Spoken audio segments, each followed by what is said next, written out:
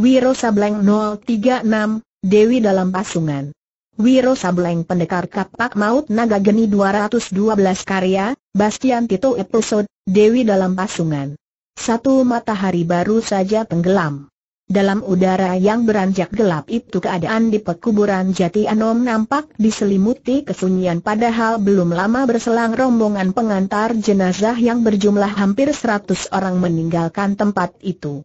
Di ujung kanan tanah pekuburan, di bawah sepokok batang kemboja kecil tampak seungguk tanah makam yang masih merah ditaburi oleh bunga-bunga aneka warna. Di kejauhan terdengar suara kicau burung yang kembali ke sarangnya. Lalu sunyi lagi dan udara semakin gelap.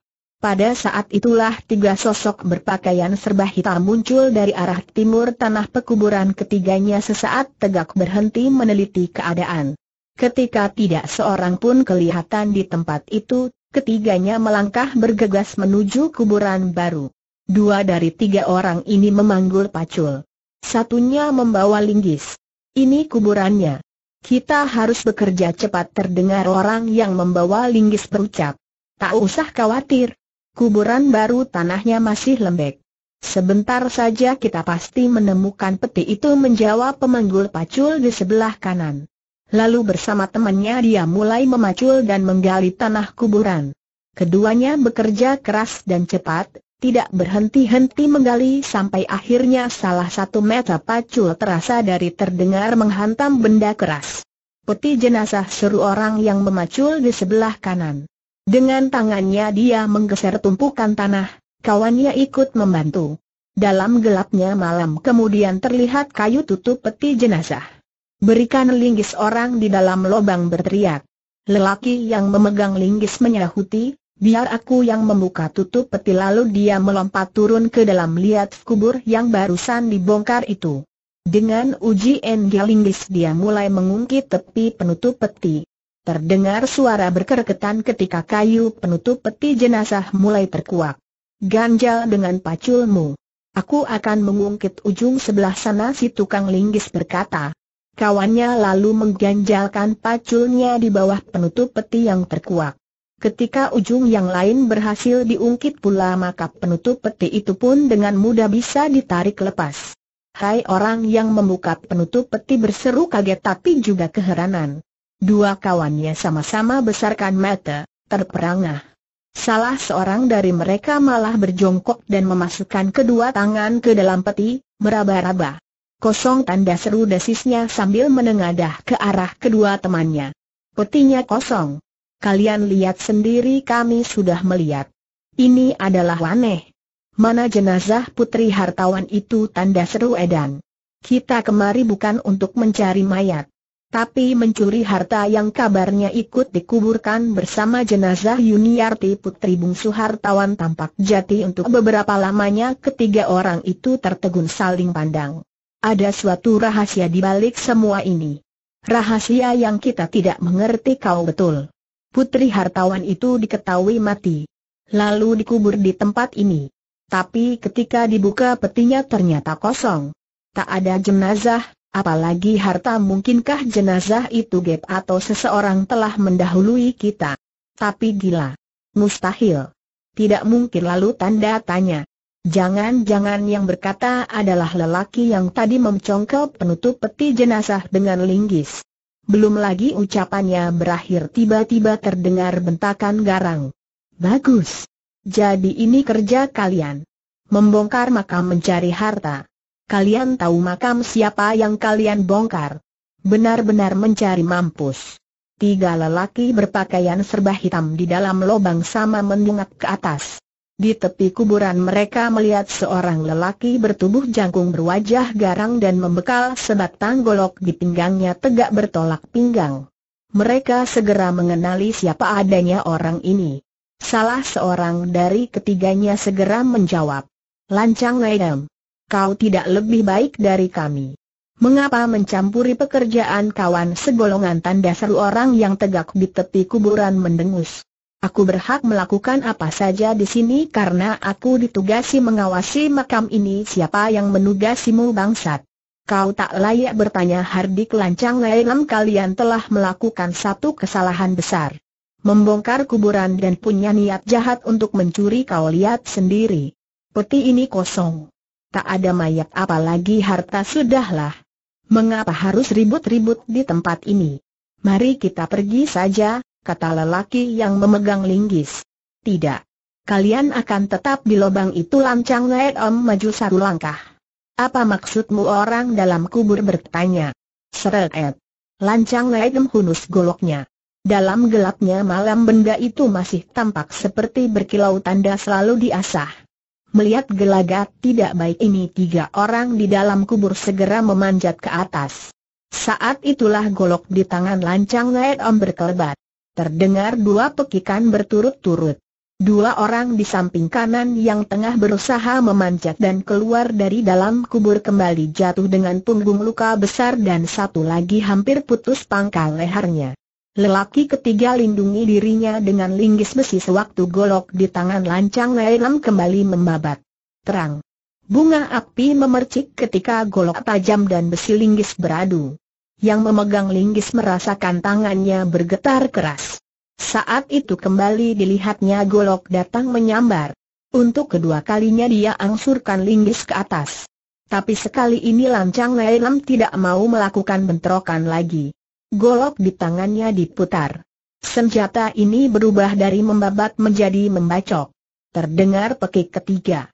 Lelaki yang memegang linggis rubuh ke dalam kubur dengan kepala hampir terbelah.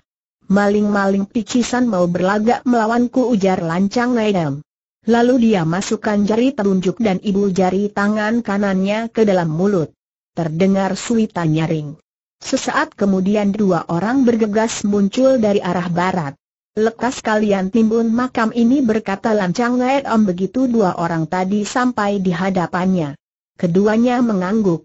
Kalian bisa pergunakan dua pacul yang ada di dalam sana kembali dua orang itu mengangguk. Tapi ketika hendak mengambil pacul mereka melihat tiga sosok tubuh yang saling timpang tindih di dalam lubang. Dua mungkin sudah mati, satu masih terdengar mengerang. Lancang Ngaem segera maklum keraguan mereka. Maka dia pun menghardik. Kalau aku perintahkan kalian menimbun kuburan berarti apa pun yang ada di dalamnya harus kalian timbun. Lakukan cepat lancang Naet Om memandang berkeliling. Dia khawatir kalau-kalau ada orang lain berada di sekitar situ dan sempat menyaksikan apa yang terjadi.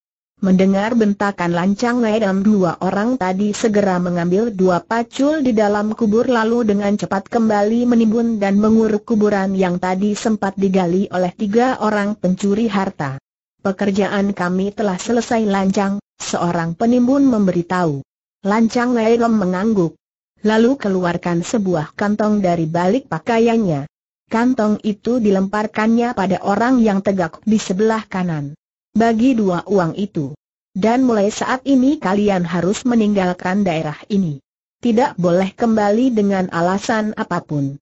Bila rahasia ini tersebar di luaran berarti kalian yang membuka dan menyebarkannya. Aku akan mencari dan membunuh kalian. Mengerti kami mengerti lancang. Nah pergilah. Bawa pacul-pacul itu, buang di tempat jauh untuk beberapa lamanya lancang Naet Om masih tegak di tempat itu memperhatikan kepergian dua orang yang membawa pacul. Setelah keduanya lenyap di kegelapan malam baru dia beranjak meninggalkan tempat itu. Tiga orang putra Raden Tamak Jati Kali Diningrat duduk mengelilingi ayah mereka sementara ibunda ketiganya berada di kamar tidur dalam suasana duka. Ketiga putra yang datang dari jauh ini sama menyesalkan mengapa adik mereka begitu cepat dimakamkan tanpa menunggu kedatangan mereka hingga tak dapat melihat si adik untuk penghabisan kali. Adik kalian meninggal karena penyakit sampar, Raden Tambak Jati berkata dengan menundukkan kepala. Jika tidak segera dimakamkan bisa-bisa banyak orang yang akan ketularan, termasuk seisi rumah besar ini. Kalian putra-putraku yang kucintai titik aku dapat merasakan apa yang ada di lubuk hati kalian. Besok, pagi-pagi sekali kalian bertiga bisa menyambangi makamnya di pekuburan Jatianom, dua tahun lalu. Yang bicara adalah Tu Bagus Kali Diningrat, putra tertua yang datang dari Solo Tigo, ketika adik Yuni mencapai usia 14 tahun, saya mendengar kabar dirinya menderita semacam penyakit aneh. Penyakit seperti kurang ingatan Raden Tambak Jati angkat kepalanya dan menatap paras putra sulungnya itu. Dari mana kau mendengar kabar itu? Siapa yang mengatakan begitu padamu saya tidak ingat dengan pasti ayah. Hanya saja, apakah kabar itu betul kabar fitnah? Fitnah busuk yang disebarkan oleh orang-orang yang tidak suka pada kita. Jangan kau percayai hal yang memalukan itu tuh bagus. Saya memang tidak pernah mempercayainya ayah, jawab tuh bagus kali diningrat. Kalian bertiga datang dari jauh, tentu, sangat letih. Pergilah beristirahat dulu. Sehabis badal isya akan diadakan pengajian. Kuharap kalian bertiga turut hadir. Ketiga putra tambrak jati sama mengiyakan lalu meninggalkan tempat itu, tepat pada saat lancang Ngedam datang menghadap. Hartawan Tambak Jati menunggu sampai ketiga putranya meninggalkan tempat itu lalu berdiri dan memberi isyarat agar mengikutinya. Katakan cepat apa yang menyebabkanmu baru saat ini sampai kemari bertanya Tambak Hati. Lancang Ngedam lalu menuturkan apa yang terjadi di pekuburan Jatianom apa yang kau lakukan sudah cukup baik. Hanya saja masih ada yang kurasa mengganjal, hal apakah itu Radam tanya Lancang Ngedam. Dua orang tukang timbun itu seharusnya kau bereskan juga hingga semua rahasia tidak bisa bocor saya sudah memberinya uang, menyuruhnya pergi dari daerah ini dan mengancamnya. Mereka tak mungkin akan membocorkan rahasia itu Raden. Lagi pula saya sudah kenal lama keduanya. Mereka bisa dipercaya, Raden Tambak Jati tetap merasa tidak enak di dalam hatinya. Lalu dia berkata, mulai hari ini, paling tidak satu kali seminggu kau menjenguk tempat itu lancang.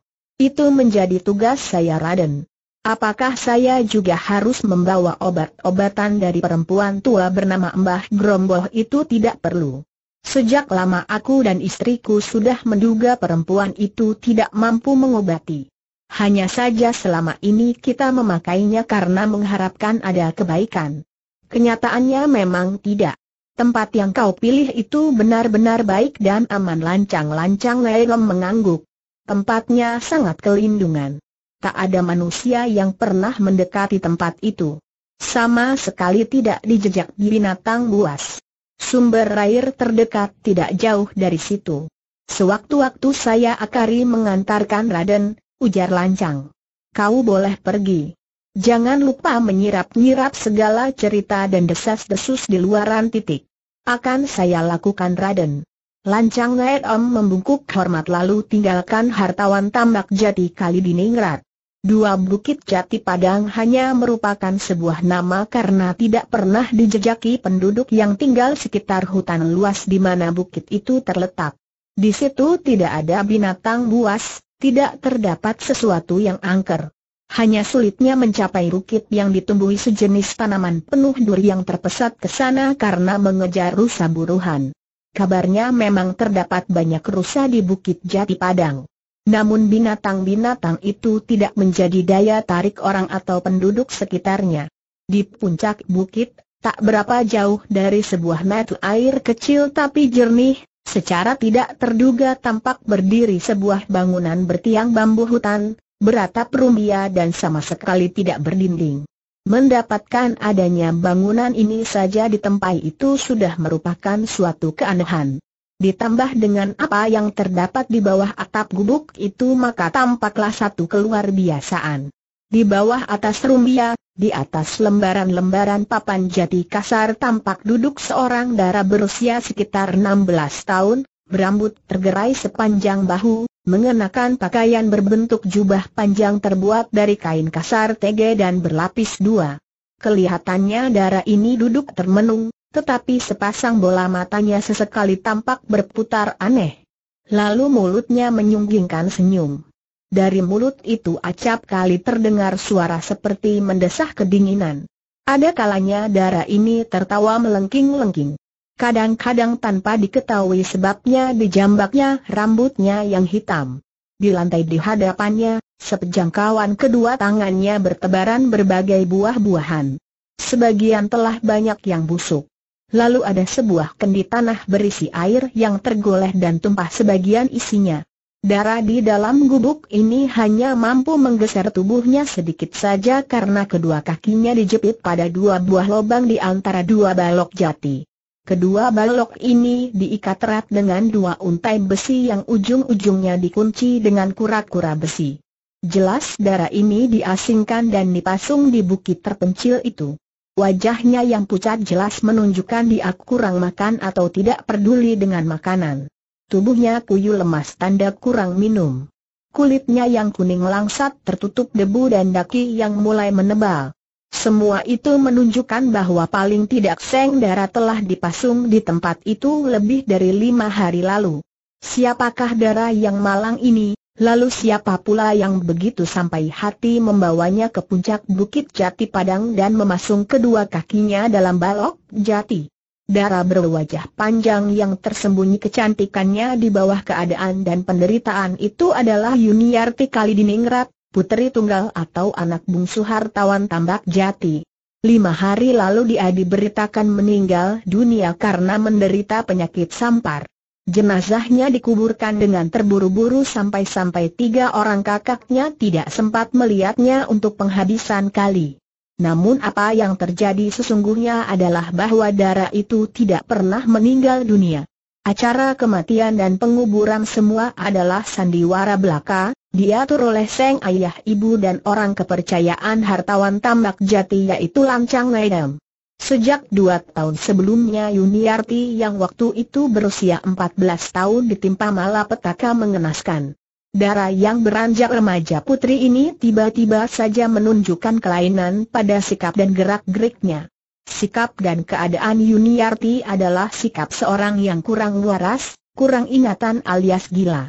Berbagai usaha telah dilakukan secara diam-diam oleh kedua orang tuanya untuk mengobati putri tunggal mereka itu. Namun sia-sia belaka. Seng darah tidak dapat disembuhkan. Sebagai turunan istana, tentu saja Tambak Jati Kali Diningrat dan istrinya akan mendapat malu besar kalau gilanya putri mereka sampai diketahui orang luar. Karena merasa mereka tidak dapat lagi menjaga dan mengasuh anaknya, ditambah entah setan dari mana yang datang merasuk, dibantu oleh lancang Om maka disusunlah satu rencana di luar batas kemanusiaan. Yuniarti harus keluar dari rumah besar, disembunyikan di satu tempat dan di tempat itu dia harus dipasung hingga tidak mungkin melarikan diri. Lancang Ledam ditugaskan paling tidak satu kali seminggu mengurus keperluan gadis itu, mengantarkan makanan dan sebagainya. Agar lengkapnya Seng Dara tidak menimbulkan kecurigaan, maka disusunlah sandiwara kematian dan pemakaman Yuniarti. Padahal peti mati tidak berisi apa-apa alias kosong. Tiga orang pencuri bernasib malang ketika mereka ketahuan membongkar kuburan dan mendapatkan peti mati dalam keadaan kosong. Agar rahasia peti kosong itu tidak sampai diketahui orang lancang legem yang memang ditugaskan untuk menjaga segala kemungkinan langsung membunuh ketiga pencuri itu. Pada hari keenam, tak ada lagi buah-buahan atau makanan lain yang bisa dimakan. Air dalam kendi tanah sudah lama kering. Tetapi Seng Dara yang tidak waras pikirannya itu sama sekali tidak acuh. Sepanjang hari dia tertawa atau mengeluarkan suara seperti menangis hingga suaranya menjadi parau. Pakaian dia dan tubuhnya semakin kotor. Rambutnya berlapis debu pada siang hari dan berlapis embun pada malam hari.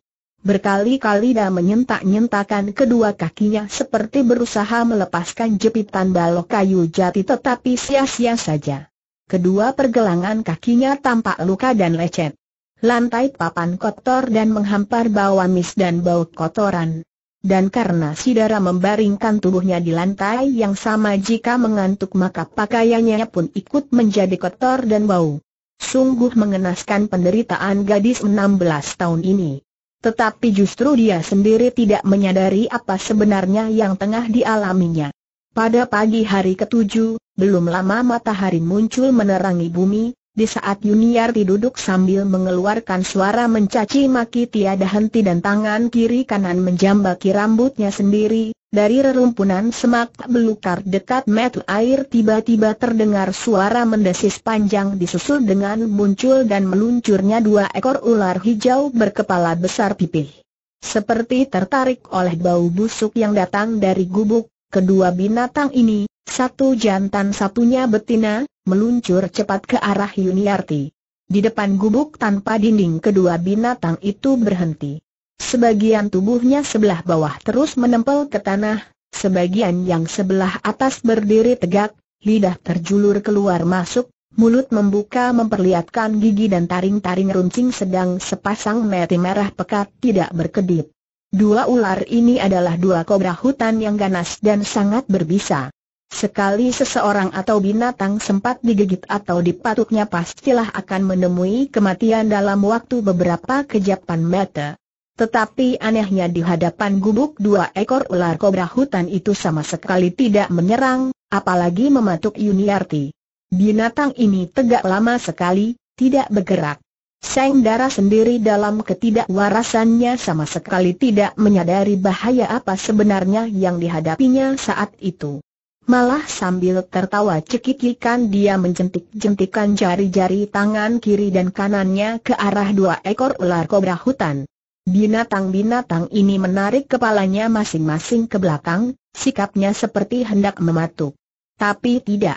Setiap jentikan yang dibuat Yuniarti diikuti kedua ular itu dengan menggoyang-goyangkan kepalanya ke kiri atau ke kanan, semakin cepat Seng Dara menjentik, semakin cepat pula goyangan kepala ular, jika lambat jentikan maka lambat pula gerakan kepala kedua binatang itu. Yuniarti tertawa pula gerakan selain menjentik-jentik mengeluarkan suara tihik-tihik-tihik di ujung-ujung jarinya, darah itu juga mengerak gerakan tangannya. Dan terjadilah hal yang tidak dapat dipercaya. Kedua ekor ular kobra menggerak gerakan tubuh mereka sebatas pinggang ke atas kian kemari seperti menari. Entah berapa lama hal itu berlangsung, sampai akhirnya Yuniarti merasa letih dan berhenti menjentik-jentik. Darah ini letakkan kedua tangannya di atas paha tangannya kemudian dipukul-pukulkan ke paha. Mulutnya berucap, Kawan-kawanku anak-anak manis berkepala besar yang lucu, bermata merah yang bagus mari mendekat. Mari kita lanjutkan permainan. Aku banyak permainan dan aku akan ajarkan pada kalian. Mari mendekat, letakkan kepala kalian di telapak tanganku aneh sungguh aneh. Seolah-olah mengerti apa yang diucapkan Seng Dara. Kedua binatang berbisa dan mematikan itu meluncur mendekat, naik ke atas lantai papan jati lalu menjulur dan mendekatkan kepalanya di telapak tangan Seng Dara. Satu di telapak kiri, lainnya di telapak tangan kanan. Ah wajah-wajah kalian ternyata tidak cakap. Tapi lucu. Aku suka pada kalian. Aku mau berteman dengan kalian kata Yuniarti pula. Lalu tangannya kiri kanan mengusap-usap kepala kedua ular kobra hutan itu. Binatang-binatang ini kedip-kedipkan kedua mati masing-masing seperti senang dan keenakan. Ketika Yuniarti berhenti mengusap, kini dua ekor ular kobra itu yang ganti mengusap tangan Seng Dara yakni menjilati telapak tangan yang terkembang. Kedua telapak tangan yang tadinya kotor berdebu dan penuh daki itu, sebentar saja menjadi putih bersih. Hai! Hai hik hik! Kalian mencuci tanganku yang kotor. Hik hik hik. Terima kasih. Kalian sahabat yang baik. Dua ekor ular kobra mengibas-ngibaskan ekor masing-masing seolah-olah senang mendengar kata-kata Yuniarti. Kedua binatang ini lalu menjilati bagian tubuh Seng Dara yang lain. Lengannya, kedua kaki, lalu leher dan wajahnya. Sesekali terdengar suara tawa cekikian Yuniarti karena kegelian. Selagi dua ekor ular itu menyisiri rambut Seng Dara dengan ujung-ujung ekor mereka, tiba-tiba terdengar suara langkah mendatangi. Semak belukar tersibak dan tampaklah seorang lelaki bertubuh tinggi muncul membawa sebuah buntalan kain. Orang ini bukan lain adalah Lancang Legem yang datang membawa makanan dan buah-buahan aru untuk Yuniarti. Lancang Lei menghentikan langkahnya begitu kedua matanya melihat dua ekor ular kobra berada di dekat Seng Dara. Yuniarti tak bergerak dalam duduknya. Matanya memandang tajam ke arah Lancang Lei Dua ekor ular kobra juga tampak tegak dengan kepala terpentang menghadap Lancang Lei Kedua kobra ini berubah memperlihatkan sikap ganas dan siap menyerang. Perlahan-lahan lancang Lailam turunkan buntalan yang dipanggulnya. Matanya tidak lepas dari memperhatikan dua ekor ular yang kini terdengar mulai mendesis-desis. Begitu buntalan diturunkan, tangan kanan lancang Lailam cepat menempel ke hulu golok di pinggang. Rara dan Ayu, suara lancang Lailam bergetar karena ketakutan. Dia tak berani mendekat. Bagaimana kau kau bersahabat dengan ular-ular jahat dan berbisa itu manusia gila teriak Yuniarti. Lalu dia melengking tinggi. Dua ekor ular di sebelahnya ikut mendesis panjang. Membuat lancang Lailam ketakutan dan mundur satu langkah. Dua orang berbaju hijau ini sahabat-sahabatku. Mereka tidak jahat. Mereka tidak seperti kalian manusia-manusia laknat dua orang berbaju hijau ujar lancang Lailam terheran. Dua orang siapa maksudmu dan ayu mereka? Mereka sahabat-sahabatku teriak Yuniarti sambil menunding pada sepasang ular kobra hutan berwarna hijau. Lancang Lailem sesaat terdiam sambil gigit bibirnya. Kalau-kalau mereka sahabat-sahabatmu suruh mereka pergi dulu. Suruh keduanya menjauh aku datang membawa makanan dan buah-buahan untukmu, manusia gila teriak Yuniarti. Dua ekor ular kobra kembali keluarkan suara mendesis. Jangan berani menyuruh pergi mereka. Kau yang harus pergi. Aku tidak butuh makanan. Pergi, pergi, Raden Ayu dengar baik-baik. Dua ekor ular itu sangat ganas dan berbisa. Kau bisa dibunuhnya, tidak. Mereka tidak akan membunuhku. Tapi akan membunuhmu teriak Yuniarti. Lalu dia berpaling pada kedua binatang itu dan berkata, Sahabat-sahabatku, bunuh manusia jelek itu. Hik-hik titik hik dua ekor kobra hutan tarik kepala masing-masing ke belakang. Mulut mendesis. Lalu laksana terbang kedua binatang itu melompat ke arah lancang Leidem. Lancang Leidem yang sejak tadi memang sudah berjaga-jaga, Melihat dua ekor ular melesat ke arahnya cepat bertindak mundur sambil mencabut golok dan menyabat ke depan. Tapi lelaki ini kalah cepat. Goloknya baru mampu keluar setengah badan saja dari dalam sarung ketika dua ekor ular kobra mematuk tubuhnya, satu di dada, satu lagi di bagian perut. Lancang Lailam keluarkan pekik setinggi langit. Golok dibuang ke tanah. Dia membalikan tubuh lalu lari sekencang yang bisa dilakukannya ke bagian lereng bukit di mana dia meninggalkan kudanya. Begitu sampai di tempat kuda tertambat, lelaki ini langsung melepaskan ikatan kuda, melompat ke punggung binatang ini dan memacunya sekencang-kencangnya. Lancang Lailam tahu kalau bahaya maut tengah menghadangnya. Meskipun demikian dia berusaha menyelamatkan diri dengan mengeluarkan bisa lari yang mulai menjalar di tubuhnya. Dengan sebilah pisau kecil dia menoleh dua patukan ular lalu memencetnya kuat-kuat hingga darah menyembur. Apa yang dilakukan lancang Lailam hanya mampu menunda kematiannya beberapa ketika. Di tengah jalan, jauh sebelum mencapai gedung kediaman hartawan Tambak Jati Kali Diningrat, lelaki ini menghembuskan nafas. Ketika kuda sampai di pintu gerbang halaman kediaman Tambak Jati, Binatang ini hanya tinggal membawa mayat penunggangnya. Hartawan tambak jati jatuh terduduk di kursinya dengan kedua tangan ditutupkan ke wajahnya yang pucat. Istrinya telah lebih dulu jatuh pingsan dan dibawa masuk ke dalam kamar, dibaringkan di atas tempat tidur. Penyebabnya tidak lain ketika kedua suami istri ini menerima kabar kematian lancang Ledem, yang berarti sangat sulit bagi mereka untuk dapat menemukan kembali putri mereka yang dipasung dan dikucilkan. Karena kecuali Lancang Ledem, tak ada lagi orang lain yang mengetahui di mana Yuniarti disembunyikan dan diasinkan. Tiga malam itu hujan turun lebat sekali menyirami bumi. Suaranya menegakkan bulu Roma. Apalagi sesekali terdengar guruh menggelegar disertai kilat menyambar. Dinginnya udara bukan alang kepalang terutama di daerah yang tinggi seperti Bukit Jati Padang. Dalam keadaan cuaca seperti itu lapat-lapat terdengar suara seperti orang menyanyi. Lagu yang dibawakannya sama sekali tidak berujung pangkal. Dan nyanyian itu sering kali diseling oleh suara tawa cekikikan atau suara seperti orang menangis pilu. Suara nyanyian ini datang dari arah gubuk tanpa dinding beratap rumbia dan yang nyanyi bukan lain adalah gadis malang dalam pasungan.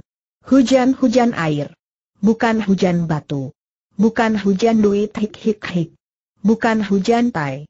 Hahaha. Hujan-hujan turun biar lebat. Lebih lebat.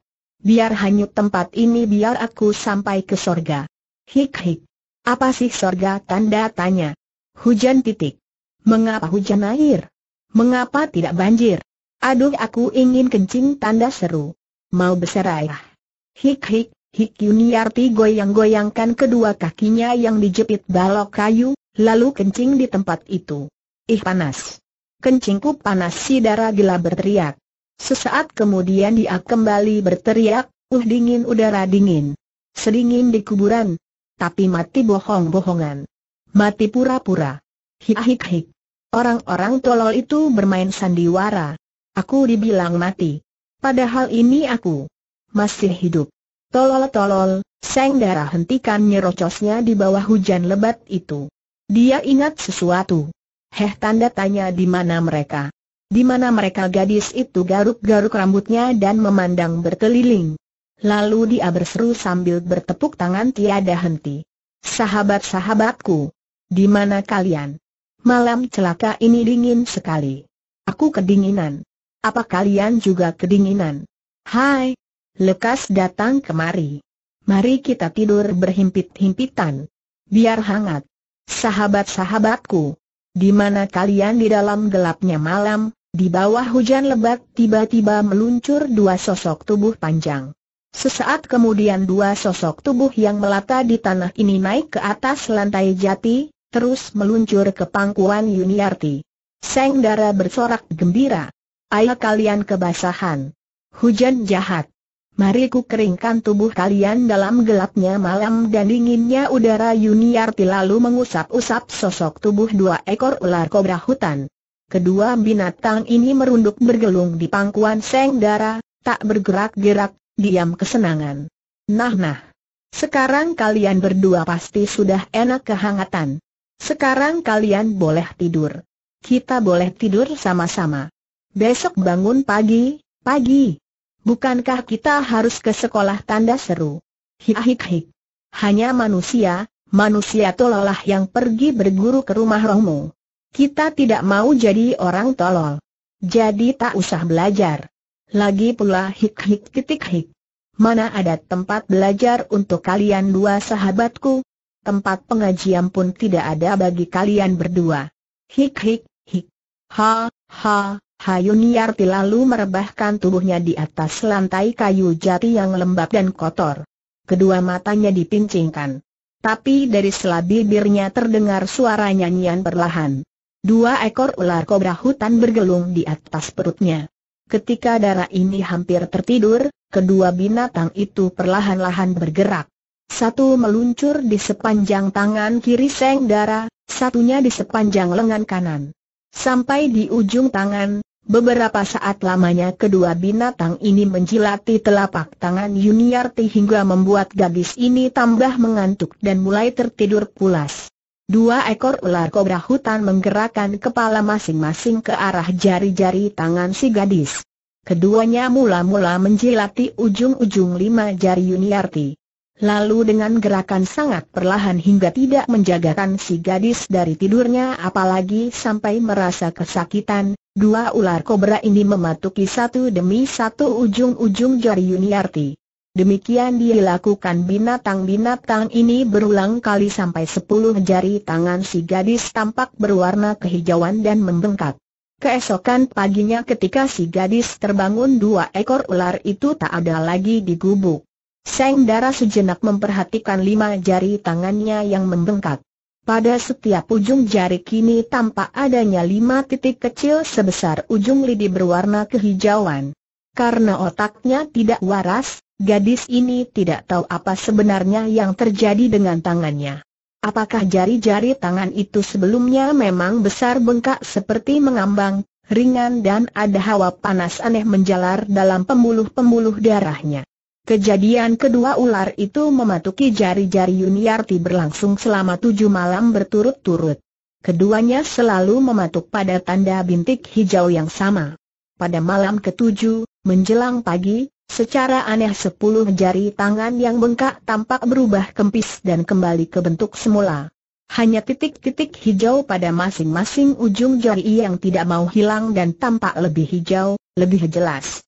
Hawa panas yang selama ini menguasai tubuh Yuniar di tujuh hari tujuh malam berangsur surut namun suhu badan Seng Dara kini sedikit tetap lebih panas dari sebelumnya. Hawa panas ini membuat sepasang matanya seperti mengeluarkan sorotan aneh yang akan menggetarkan setiap siapa saja berani memandangnya. Pada hari ke-8, yakni sehari setelah ular-ular itu mematuki jari-jari tangan Seng Dara tujuh malam berturut-turut, waktu bangun dari tidurnya Yuniarti dapatkan kedua sahabatnya telah tegak setengah badan di depan gubuk. Sikap dua ekor ufar ini agak aneh, tidak seperti biasanya bergerak lincah kian kemari. Binatang-binatang ini tegak menatap kejurusan Yuniarti dengan sepasang mata merah tak berkesit. Kepala melebar pipi dan ditarik ke belakang. Mulut menganga memperlihatkan lidah hijau berbisa dan gigi-gigi runcing mengerikan. Hai! Mengapa kalian diam-diam saja di situ? Apa kalian sudah minum kopi tanda tanya? Hik hik, Yuniarti menegur lalu tertawa cekikikan. Dua ekor ular kobra keluarkan suara mendesis tubuh yang tegak tertarik ke belakang. Tiba-tiba keduanya melesat ke arah Yuniarti. Jelas kedua binatang ini melancarkan serangan. Mematuk ke arah dada dan leher Seng Dara. Karena otaknya tidak waras Yuniarti sama sekali tidak mengetahui bahaya yang mengancamnya. Malah gadis ini tertawa-tawa gembira, Gerak-gerakan kedua tangan, goyangkan kepala seperti menari. Ketika kepala dua ekor ular yang mematuk hanya tinggal seujung jari dari sasaran yang diserang, mendadak dua kepala itu tampak berhenti mematuk dan tertarik jauh ke belakang. Tapi hanya sesaat saja. Di lain kejap dua ekor ular kobra itu kembali menyerang dan begitu patukan mereka hanya tinggal sedikit saja lagi akan menghunjam di kepala atau bagian tubuh Seng Dara, gerakan mereka berhenti, kepala masing-masing ditarik lagi ke belakang. Demikian berulang kali. Terus menerus. Semakin lama-kelamaan gadis ini merasa letih dan turunkan kedua tangannya. Aku capai. Mari kita istirahat sebentar sambil minum kopi hangat dari angin.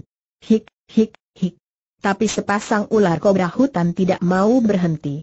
Terus saja pulang balik mendesis dan menyerang. Hai! Kalian tidak dengar apa yang aku bilang? Yuniarti membentak karena mulai jengkel. Lalu dia jambak-jambak rambutnya sendiri. SSSSSSSSSSS. Sepasang ular mendesis. Uap hijau menyambar. Lalu keduanya kembali menyerang berulang kali hampir tiada henti. Sahabat-sahabatku, kalian pasti sudah gendeng. Jangan bikin aku marah SSSSSSSSSS. Dua ekor ular kembali mendesis dan melanjutkan serangan-serangan, sahabat-sahabat kurang ajar. Kalian tidak kugebok kalian tentu belum kapok habis berkata begitu Yuniarti kibaskan tangan kanannya. Kali ini lebih keras karena lebih marah. Dan seperti tadi lima sinar hijau tampak melesat keluar dari lima jari tangannya. Sekali ini lebih terang. Yuniarti tertawa cekikikan. Sesaat itu ular betina di samping kiri terdengar mendesis dan mematuk ganas. Yuniarti meninju dengan tangan kirinya. Selarik sinar hijau meneru ke arah ular kobra betina. Binatang ini rundukan kepalanya ke tanah lalu meluncur bergabung dengan ular kobra jantan. Dari satu arah keduanya kemudian sama-sama menyerang. Yuniarti kibaskan tangannya kiri kanan. Sepuluh larik sinar hijau berkiblat. Dua ekor ular kobra hutan cepat jatuhkan diri. Larikan sinar hijau melesat menghantam sebatang pohon. Terjadilah satu hal yang luar biasa. Lima lubang kecil tampak menembus kulit pohon. Dan batang pohon itu sendiri serta-merta berubah menjadi kehijauan. Seperti layaknya orang gembira, kedua ular kobra meliuk-liukan tubuh masing-masing ke atas, berputar-putar dan menggoyangkan kepala tiada henti. Kedua binatang ini kemudian meluncur ke pangkuan Yuniarti, menggelung tubuh Seng Dara dan menjilatinya dengan mulut dan lidahnya. Apakah sebenarnya yang telah terjadi dan dialami oleh Yuniarti si gadis 16 tahun dalam pasungan dan berontak tidak waras itu? Ternyata dua ekor ular kobra hutan bukanlah ular-ular biasa.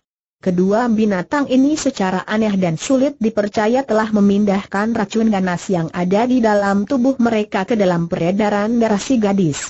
Setelah tujuh kali terjadi pemindahan racun itu maka racun telah menjadi satu dalam dada Yuniarti dan setiap saat dia memukul, mengibaskan atau menjentikan jari-jari tangannya maka larikan-larikan atau gulungan sinar hijau yang mengandung racun mematikan akan melesat keluar dari tubuhnya melalui sepuluh lubang kecil pada ujung-ujung jari tangannya. Hal ini tidak mungkin terjadi kalau dua ekor ular kobra hutan hijau itu bukanlah sepasang binatang sakti. Yuniarti tertawa cekikikan karena geli ketika sepasang ular kobra menjilati leher dan mukanya. Pada saat itulah tiba-tiba semak belukar di sebelah kanan tak berapa jauh dari pohon yang kini menjadi mati akibat endapan racun, tersibak dan seorang lelaki tua bertubuh tinggi semampai, berjanggut, berkumis dan berambut putih muncul sambil menatap tajam ke arah Yuniarti. Ketika memukul kedua matanya belum kelihatan hijau, orang tua itu membatin. Tapi sinar yang keluar dari jari-jari tangannya sudah cukup mantap. Mungkin seminggu, dua lagi racun itu baru benar-benar dapat berbaur sempurna dalam darahnya, sambil terus memandang ke arah seng darah orang tua ini usap-usap janggutnya. Anak malang tak banyak yang dapat kulakukan untukmu. Mudah-mudahan kau selamat dan ada seseorang yang mampu mengobati penyakitmu. Ya Tuhan, ya Gusti Allah lindungi anak itu. Aku mohon disembuhkan dia dari segala penyakitnya sehabis berkata begitu orang tua ini tepukan kedua tangannya. Ternyata seperti Yuniarti, orang tua ini juga memiliki sepuluh jari tangan yang ujung-ujungnya bertanda titik berwarna hijau. Anak-anak, Tugas kalian sudah selesai. Kita harus segera pergi dari tempat ini. Jika kalian ingin bertemu dengan gadis itu hanya sekali-sekali saja bisa kalian lakukan. Ayo ikut aku orang tua itu berhenti bertepuk lalu angkat kedua tangannya lurus-lurus ke depan. Dua ekor ular kobra mencium wajah Yuniarti terakhir kali lalu kedua binatang ini meluncur ke atas si orang tua, naik ke atas kaki dan tubuhnya, terus bergelung pada lengan kanan. Ketika berjalan pergi orang tua itu tak ubahnya seperti memakai sepasang gelang hijau. Melihat dua sahabatnya dibawa pergi, Yuniarti berteriak marah. Dia melompat bangun. Tapi sepasang kakinya terbelenggu dalam jepitan balok besar. Janggut putih. Hai, orang tua jelek. Kau bawa ke mana sahabat-sahabatku? Hai, setan. Kambing tua mereka bukan anak-anakmu. Mengapa menyebut mereka anak-anak? Apakah kau kawin dengan ular? Hik hik. Hai kambing tua. Bawa kemari sahabat-sahabatku itu orang tua berjanggut putih tentu saja mendengar teriakan-teriakan Yuniarti. Namun dengan tenang dia melangkah terus ke arah semak belukar di mana tadi dia menyembul. Ketika dia menyibak semak belukar itu Yuniarti kepalkan jari-jari tangan kanannya lalu sambil memaki-maki dia tinjukan tangan itu ke arah orang tua berambut putih. Wus! Sinar hijau melesat tebal dan jelas tanda yang memukul mengerahkan tenaga dan berada dalam keadaan marah. Meskipun tidak melihat tapi orang tua itu tahu kalau dirinya mendapat serangan sangat berbahaya. Secepat kilat dia jatuhkan diri ke tanah. Sinar hijau menghantam semak belukar. Serta merta semak belukar ini menjadi rambas dan mati setelah terlebih dulu berubah menjadi hijau. Ah, hebat sekali memuji si orang tua yang menyaksikan kejadian itu. Lalu diagulingkan diri dan di lain kejap tak kelihatan lagi di tempat itu. Tinggal kini Yuniarti yang terus berteriak-teriak.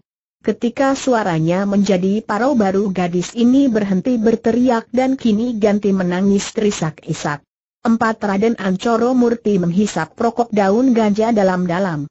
Sepasang matanya meredup seperti orang mengantuk. Wajahnya pucat kuyu. Rokok itu membuatnya merasa nikmat dan mengendurkan rasa dinginnya udara. Sambil menghembuskan asap rokok dia menatap ke arah tiga ekor kuda yang tertambat di bawah pohon, disirami hujan lebat yang turun sejak beberapa waktu lalu. Lalu dia berpaling pada dua orang pengiring yang tegak di sebelah kirinya. Saat itu mereka berteduh di bawah sebuah teratak reyot di timur hutan di mana Bukit Jati Padang terletak. Lalu sambil mengusap-usap tombak, busur dan bumbung panah pemuda itu berkata, Suaranya datar lesu karena dirinya lebih banyak dipengaruhi oleh rokok ganja yang dihisapnya. Sial betul nasib kita berburu sekali ini.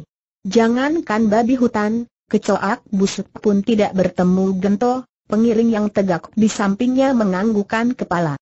Sambil mengusap dagu dan menjawab, mungkin ini gara-gara cuaca yang buruk Raden aku tidak percaya. Apa sangkut pautnya cuaca buruk dengan segala babi hutan atau celeng kelarat? Bukankah mereka tidak akan keluar dari hutan ini walaupun ada hujan lebat? Dan kau Jamaning kau yang membawa kesialan pertama kali pengiring bernama Jamaning kerutkan kening. Saya tidak mengerti maksud Raden.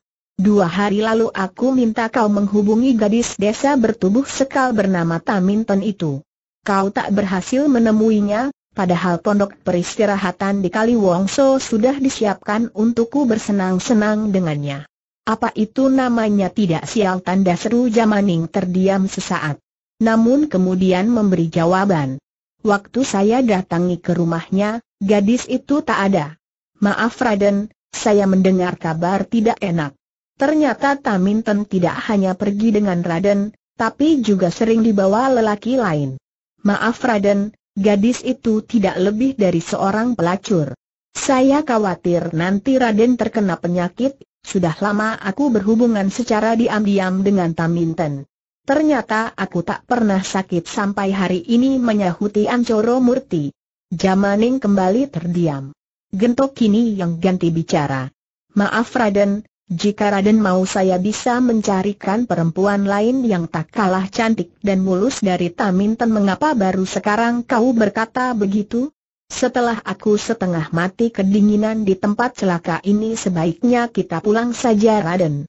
Dalam udara seperti ini kita tak akan mendapatkan binatang perburuan. Ancoro Murti diam saja. Dia menghisap dalam-dalam rokok ganjanya yang tinggal kecil hampir membakar jarinya lalu mencampakkan puntung rokok ke tanah. Dia memberi isyarat pada Gento. Nyalakan sebatang rokok baru untukku. Maaf Raden. Saya dipesan oleh ayah Raden agar mengawasi Raden maksudmu tanya Ancoro Murti. Untuk pertama kalinya kedua matanya yang kuyu terbuka lebar. Ayah Raden memesan agar Raden jangan terlalu banyak merokok ganja. Bahaya bagi kesehatan Raden. Ayahku. Ayahku ujar Ancoro Murti sambil bantingkan kakinya ke tanah. Orang itu terlalu banyak peraturan. Tetapi tidak dikatakan langsung padaku. Harus lewat orang lain. Harus lewat kau. Sudah. Berikan rokok itu saya tidak berani melanggar pesan ayahmu Raden jadi kau berani menolak permintaanku Gento. Saat ini kau berhenti jadi pembantuku. Kau boleh pergi mendengar itu Gento jadi kecut. Orang ini bimbang sesaat. Akhirnya dia mengeruk sakunya, mengeluarkan kelintingan rokok ganja, menyalakannya lalu memberikannya pada Raden Ancoro Murti. Ketika pemuda ini siap menyedot rokok ganja itu, Tiba-tiba dilihatnya ada sesuatu bergerak di balik semak belukar belasan langkah di hadapannya. Aku melihat sesuatu. Jangan ada yang bergerak pemuda itu berkata setengah berbisik. Tangannya bergerak menyiapkan tombak. Tapi menurut perhitungannya, lemparannya tak akan menemui sasaran. Semak belukar itu berada di luar jangkaitan lemparan tombak. Maka dia cepat-cepat mengambil anak panah dan busur benda yang bergerak di balik semak belukar makin lama makin jelas. Dan ternyata adalah seekor rusa coklat bertotol-totol putih.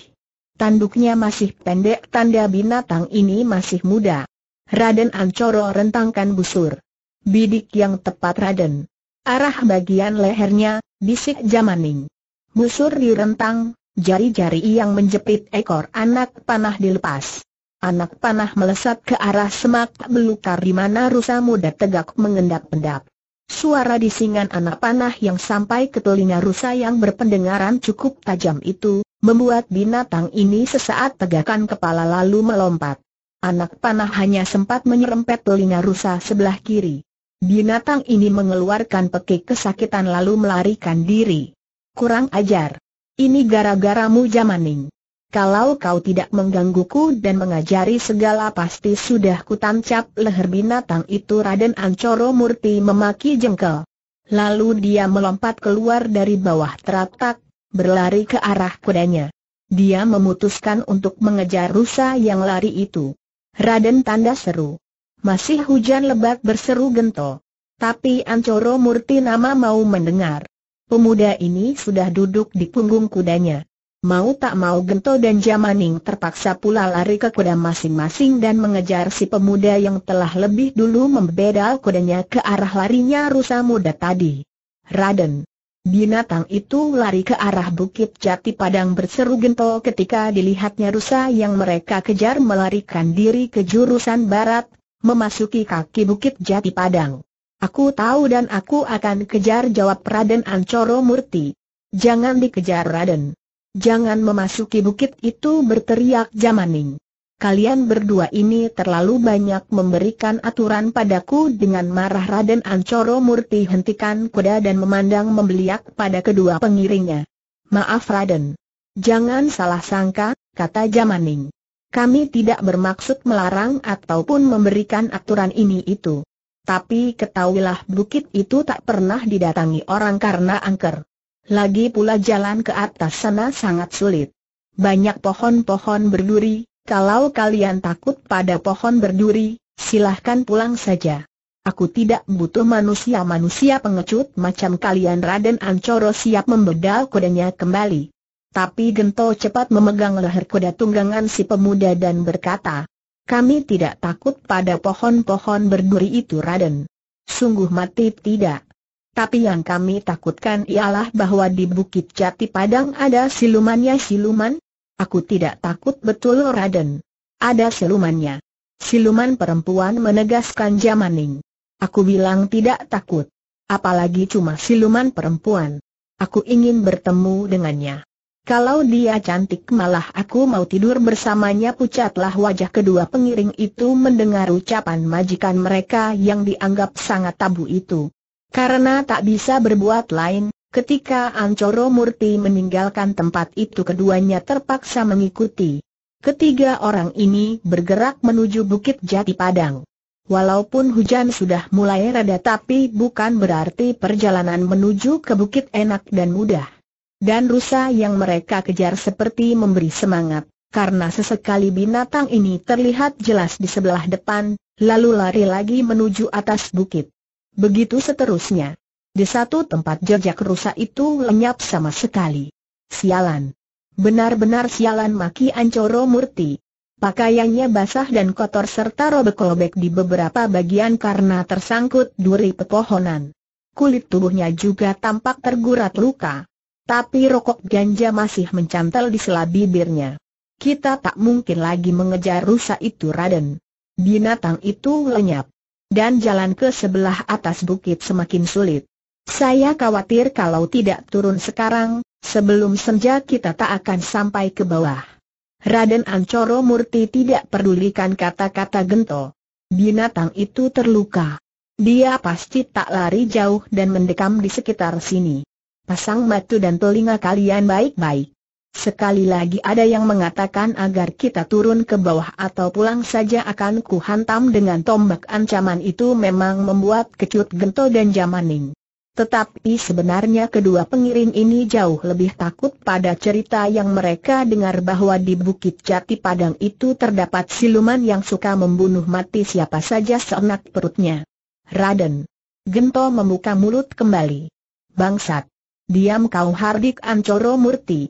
Aku mendengar suara sesuatu Raden Ancoro Murti pasang telinga tajam-tajam. Dua pengiringnya mengikuti dan wajah mereka tampak semakin pucat. Sayup-sayup mereka mendengar suara orang menyanyi. Suara perempuan. Si siluman perempuan itu, bisik gento. Pasti-pasti, balas berbisik Jamaning. Selagi kedua pengiring itu dilanda ketakutan, majikan mereka Raden Ancoro Murti sudah turun dari kudanya, menyibak semak belukar dan melangkah menuju bukit sebelah atas. Raden, jangan tanda seru. Berhenti seru Jamaning. Kembali berteriak Gento. Tapi Ancoro Murti melangkah terus bahkan lenyap di balik semak belukar. Kita pulang saja ajak Gento.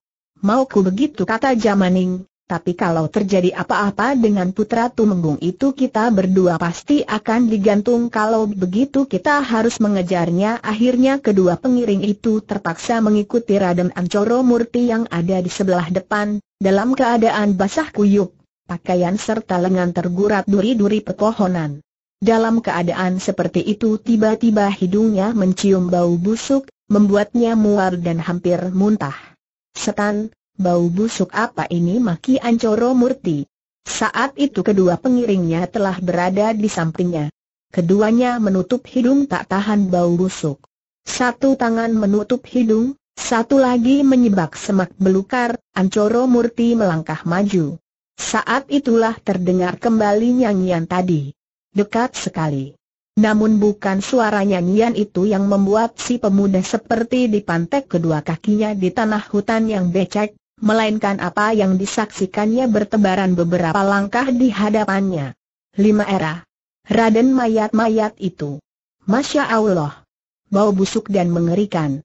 Kita segera pergi saja dari sini Raden bisik gento dengan lutut gemetar, tubuh menggigil dan lidah hampir kelu. Di hadapan ketiga orang itu berhamparan malang melintang hampir selusin mayat manusia yang kebanyakan sudah sangat rusak, menebar bau busuk luar biasa, mementang pemandangan mengerikan. Beberapa di antara mayat-mayat itu bahkan hanya tinggal tulang belulang dan tengkorak saja. Entah habis digerogoti binatang hutan, entah dipatuk burung-burung pemakan mayat. Betul sekali Raden. Mari kita tinggalkan tempat angker celaka ini. Lihat, mayat-mayat busuk itu. Daging mereka yang masih utuh tampak berwarna hijau aneh Raden Ancoro Murti belum lagi sempat membuka mulut berikan jawaban, tiba-tiba dari arah depan terdengar suara nyanyian perempuan. Yang mampus biarlah mampus yang sudah mati biarlah mati yang barusan datang mencari mati hendak lari kaki di pantek hutan menjadi saksi kematian hutan menjadi pembasuh jenazah kaki di pantek tak bisa lari. Hik titik hik, hik. Raden. Lekas lari bisik gento lagi. Tapi anehnya dia tak mampu menggerakkan kedua kakinya. Demikian juga kawannya Jamaning sedang Ancoro Murti seperti orang kena sirat memandang tak berkedip pada sosok tubuh darah yang duduk dipasung di dalam gubuk tanpa dinding gento. Jamaning, terdengar suara Ancoro Murti. Kalian lihat anak perawan itu itu bukan anak perawan Raden. Itulah siluman yang saya katakan tadi, Ujar Gento dengan suara tercekat manusia tolol maki Ancoro Murti dengan suara perlahan mendesis. Jelas-jelas itu seorang anak gadis. Matamu terbalik menyebutnya siluman liat. Gadis itu berparas cantik. Hanya sayang rambut dan pakaiannya sangat kotor. Dan lihat lagi. Kedua kakinya dipasung pada balok besar. Kasihan. Aku akan menolongnya. Melepaskan pasungannya lalu memandikannya di sungai lalu memboyongnya ke pondok peristirahatan di Kaliwongs Oraden. Jangan bicara dan berpikir yang bukan-bukan. Ini tempat angker. Siluman bisa merubah diri seperti apa saja. Seperti gadis yang dipasung itu. Lekas kita pergi dari sini Raden tidak aku akan melepaskan gadis itu. Lalu memboyongnya demi Tuhan. Dia tidak pantas bagimu Raden. Kalaupun dia memang manusia, lihat tubuhnya yang kotor dan baunya sebusuk mayat yang bertebaran. Kalau Raden masih menganggapnya manusia, maka dia adalah gadis gila. Perawan Eden dari arah pondok beratap rimba tiba-tiba meledak suara tawa melengking menggidikan bulu Roma yang diakhiri dengan satu bentakan keras. Yang barusan mengatakan tubuhku sebusuk mayat. Yang barusan mengatakan aku gadis gila, perawan Edan cepat datang kepadaku yang membentak adalah Seng Dara dalam pasungan. Wajahnya yang cantik tapi terselimuti debu dan bercat nampak bengis. Sepasang matanya berputar liar Jamaning merasakan nyawanya terbang. Sekujur tubuhnya menggigil, bukan karena dinginnya udara di tempat itu atau dingin karena dia kehujanan, tapi karena ketakutan. Dialah tadi yang mengatakan gadis itu gila, busuk, perawan edan. Ketakutan setengah mati Jamaning tak kuasa bergerak dari tempatnya tegak di balik semak belukar. Tidak mau datang Seng Dara mendengus. Mulutnya menyunggingkan senyum aneh. Kalau begitu biar maut yang menjemputmu habis berkata begitu Seng Dara jentikan jari telunjuk tangan kanannya. Satu sinar hijau setipis lidi berkiblat. Menerobos udara dingin dengan kecepatan kilat, merambas semak belukar. Di lain kejap terdengar pekik jamaning. Orang itu terpental roboh, menggeletak di tanah hutan yang becek tak bergerak lagi. Sekujur tubuhnya berubah menjadi hijau. Pada keningnya tampak sebuah bintik hijau pekat. Gusti Allah desis gento dan jatuh terduduk di samping mayat kawannya saking takutnya. Mukanya pucat pasi. Ancoro Murti sendiri tak kalah pucat wajahnya.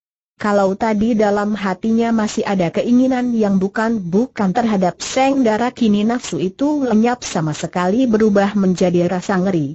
Ingin dia kabur dari tempat itu detik itu juga tetapi aneh, seperti yang diucapkan Seng Dara dalam nyanyiannya, kedua kakinya laksana dipantek tak bisa bergerak apalagi lari. Kembali Seng Dara di dalam pondok keluarkan suara tawa cekikikan. Saat itu hujan telah reda dan beberapa bagian dari puncak bukit termasuk di dekat-dekat pondok disaput oleh kabut tipis, membuat tambah seramnya suasana. Yang tadi mengatakan aku bukan perawan tapi siluman. Giliranmu maju ke hadapanku gadis di dalam pondok berteriak.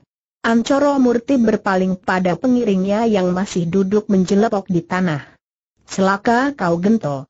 Kau tadi yang bilang gadis itu siluman. Padahal Raden, tolong-tolong saya. Si siluman itu pasti akan membu. Tidak ada yang dapat menolongmu anak manusia terdengar suara dari arah pondok. Mulut kamu harimau kamu. Mampuslah belum habis Gento menyelesaikan ucapan ketakutannya, kembali sinar hijau berkelebat. Kali ini dua larik sekaligus. Sinar-sinar maut yang ganas ini melesat hanya satu jengkal dari tubuh Hancoro Murti, terus melabrak tubuh Gento. Satu menghantam dada, satu lagi menembus leher. Dua titik hijau tampak pada dua bagian tubuh itu. Gento sendiri terbanting ke tanah. Ajalnya telah sampai duluan sebelum punggungnya menyentuh tanah. Sekujur badannya sampai pada bagian matanya yang berwarna putih membeliak tampak menjadi hijau. Melihat kejadian ini Raden Ancoro Murti tak kuasa lagi menahan takutnya. Dia segera kabur meninggalkan tempat itu tetapi lagi-lagi kedua kakinya tak mau diajak berkompromi. Kedua kaki itu benar-benar seperti dipantek ke tanah. Selagi dia dilanda ketakutan setengah mati seperti itu dari arah pondok kedengaran suara Seng Dara, menggema tantang. Orang muda. Sekarang giliranmu datang ke hadapanku. Ayo jalan sungguh aneh. Kalau tadi untuk lari Raden Ancoro Murti tidak sanggup menggerakkan kedua kakinya sedikit pun, tapi kini seolah-olah berada di bawah satu pengaruh kekuatan gaib. Pemuda ini perlahan-lahan melangkah menuju pondok, datang ke hadapan Seng Dara. Berhenti di situ Seng Dara memerintah lalu tertawa dan jambak-jambak rambutnya. Kedua matanya lagi-lagi berputar liar. Ancoro Murti berhenti lima langkah di hadapan pondok berhadap-hadapan begitu dekat dengan Seng Dara yang duduk terpasung, pemuda ini dapat melihat wajah yang cantik di balik semua kekotoran dan bau busuk yang amat sangat. Hem tampangmu lumayan. Lebih bagus dari kucing peliharaanku di rumah dulu. Hik hik hik. Bukankah kau yang tadi mengatakan ingin memboyongku ke satu pondok di Kaliwongso tanda seruan Coro Murti tak berani membuka mulut. Tak berani menjawab. Ayo jawab sentak Seng Dara dalam pasungan maksud saya tadi. Saya tidak bermaksud jahat saya hanya bicara main-main. Maafkan kalau, tawa Seng Dara membuat Ancoro hentikan ucapannya. Main-main. Kau pasti sudah terlalu sering mempermainkan orang-orang perempuan. Pasti. Hik-hik. Aku dapat melihat nafsu bejat tersembunyi dalam pancaran kedua matamu yang ketakutan itu. Aku dapat mencium bau aliran darah kotor dalam tubuh Buseng darah mendengak ke atas sambil mencium-cium lalu kembali dia memandang dengan tajam pada si pemuda. Apakah aku cantik menurutmu kau? Kau memang, memang cantik jawab Ancoro Murti. Dan kau suka padaku tanda seru si pemuda tak berani menjawab. Ayo buka mulut berikan jawaban terus terang saya heran mendapatkan dirimu dalam keadaan seperti ini, di puncak bukit terpencil ini. Itu bukan jawaban yang kuminta. Pertanyaanku apakah kau suka padaku tanda selusa saya memang suka, hik hik. Kau suka padaku. Dan mau membawaku ke pondok di Kaliwongso itu. Benar Ancoro Murti anggukan kepala. Mendadak saja dia merasakan bulu kuduknya tambah merinding. Lalu didengarnya darah dalam pondok berkata, bagus-bagus. Aku suka pergi bersamamu ke pondok itu. Kita bersenang-senang di sana. Nah, kau pergilah duluan Seng Dara jentikan telunjuk tangan kirinya. Wuut. Ada sinar hijau pekat berkiblat. Raden Ancoro Murti tundukkan kepala. Tapi terlambat. Sinar lurus hijau itu menyambar pertengahan keningnya. Satu lubang hijau tampak berbekas di kening. Pemuda ini terpelanting. Tubuhnya yang jadi mayat kelihatan menghijau begitu tergelimpang di tanah yang becek. Tiga mayat lagi bertambah. Tiga manusia lagi mampus di puncak bukit ini. Hik-hik-hik darah dalam pasungan bertepuk tangan seperti anak kecil kegirangan. Tiba-tiba dia berhenti tertawa dan berhenti bertepuk tangan. Kepalanya diputar setengah lingkaran. Hidungnya kembang kempis. Dia seperti mencium-cium sesuatu. Sepasang matanya berputar liar, sesekali pandangannya menyambar ke arah pepohonan tinggi besar berdaun lebat di sekitar pondok. Tiba-tiba darah ini kembali keluarkan tawa bergelak dan berseru, mayat keempati mengapa bersembunyi lalu diajentikan lima jari tangan kanannya sekaligus. Terjadi hal yang dahsyat. Lima sinar hijau berkelebat menyilaukan, menebar hawa panas, menyambar ke arah pohon paling besar dan tinggi di sebelah kanan disertai suara menduru mengerikan. Dari atas pohon terdengar suara seruan. Satu sosok tubuh melayang turun jungkir balik. Kepulan asap membungkus bagian-bagian pohon di sebelah atas. Ranting-rantingnya tampak gosong tetapi berwarna kehijauan. Dedaunannya rontok terguguran. Sebagian pohon itu kini tampak hijau sampai ke pertengahan batang. Hik-hik-hik. Rasakan. Rasakan. Itu bagian orang yang suka bersembunyi. Hik-hik-hik. Hai titik. Rupanya kau tidak mampus ha. Bersembunyi di mana kau sekarang Seng Dara angkat tangan kanannya. Siap untuk mengirimkan serangan jentikan lima jari maut. Tiba-tiba dari balik pohon yang kini berada dalam keadaan mati dan berubah warna menjadi hijau melompat tubuh berpakaian serba putih, berambut gondrong. Tahan. Jangan serang. Aku bukan musuhmu. Aku bukan kawan dari tiga orang yang barusan kau bunuh si rambut gondrong ternyata seorang pemuda bertampang keren tapi tampak seperti tolol dan jadi kocak ketika dia garuk-garuk kepalanya. Namun wajahnya sama sekali tidak dapat menyembunyikan rasa cemas. Kalau begitu kau siapa? Setan. Monyet tanda seru aku bukan setan bukan monyet. Aku manusia sepertimu. Aku sahabatmu aku tidak pernah punya sahabat selain dua sahabat berbaju hijau yang sudah lama tidak muncul di tempat ini. Jangan mengada-ada. Jangan menipu aku tidak menipu. Aku, ah, kau layak mampus seperti tiga orang tadi lalu gadis itu jentikan lima jari tangannya. Seperti tadi lima larik sinar hijau berkiblat. Pemuda yang diserang berseru kaget lalu jatuhkan diri ke tanah, berguling ke arah semak belukar. Sebelum dia mencapai semak belukar, tiga larik sinar maut kembali memburunya. Terpaksa pemuda itu membuang diri ke jurusan lain sambil pukulkan tangan kanan ke depan. Satu gelombang angin keras menderu menyongsong tiga serangan sinar hijau.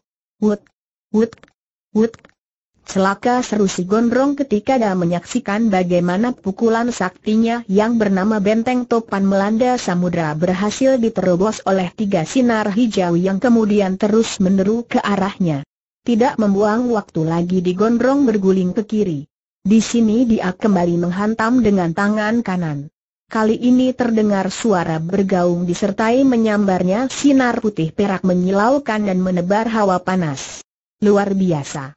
Sinar-sinar hijau yang menyerang tetap saja tak dapat ditangkis ataupun dibuat musnah.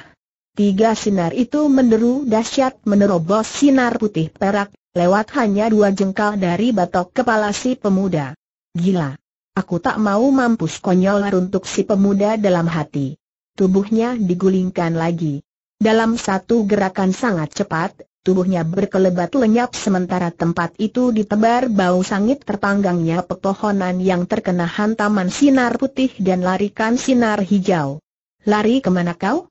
Lari ke mana kau? Apa kira kau bisa sembunyi tanda seru si gadis dalam pondok memandang berkeliling? Kedua tangannya diangkat tanda dia siap untuk kembali lancarkan serangan maut.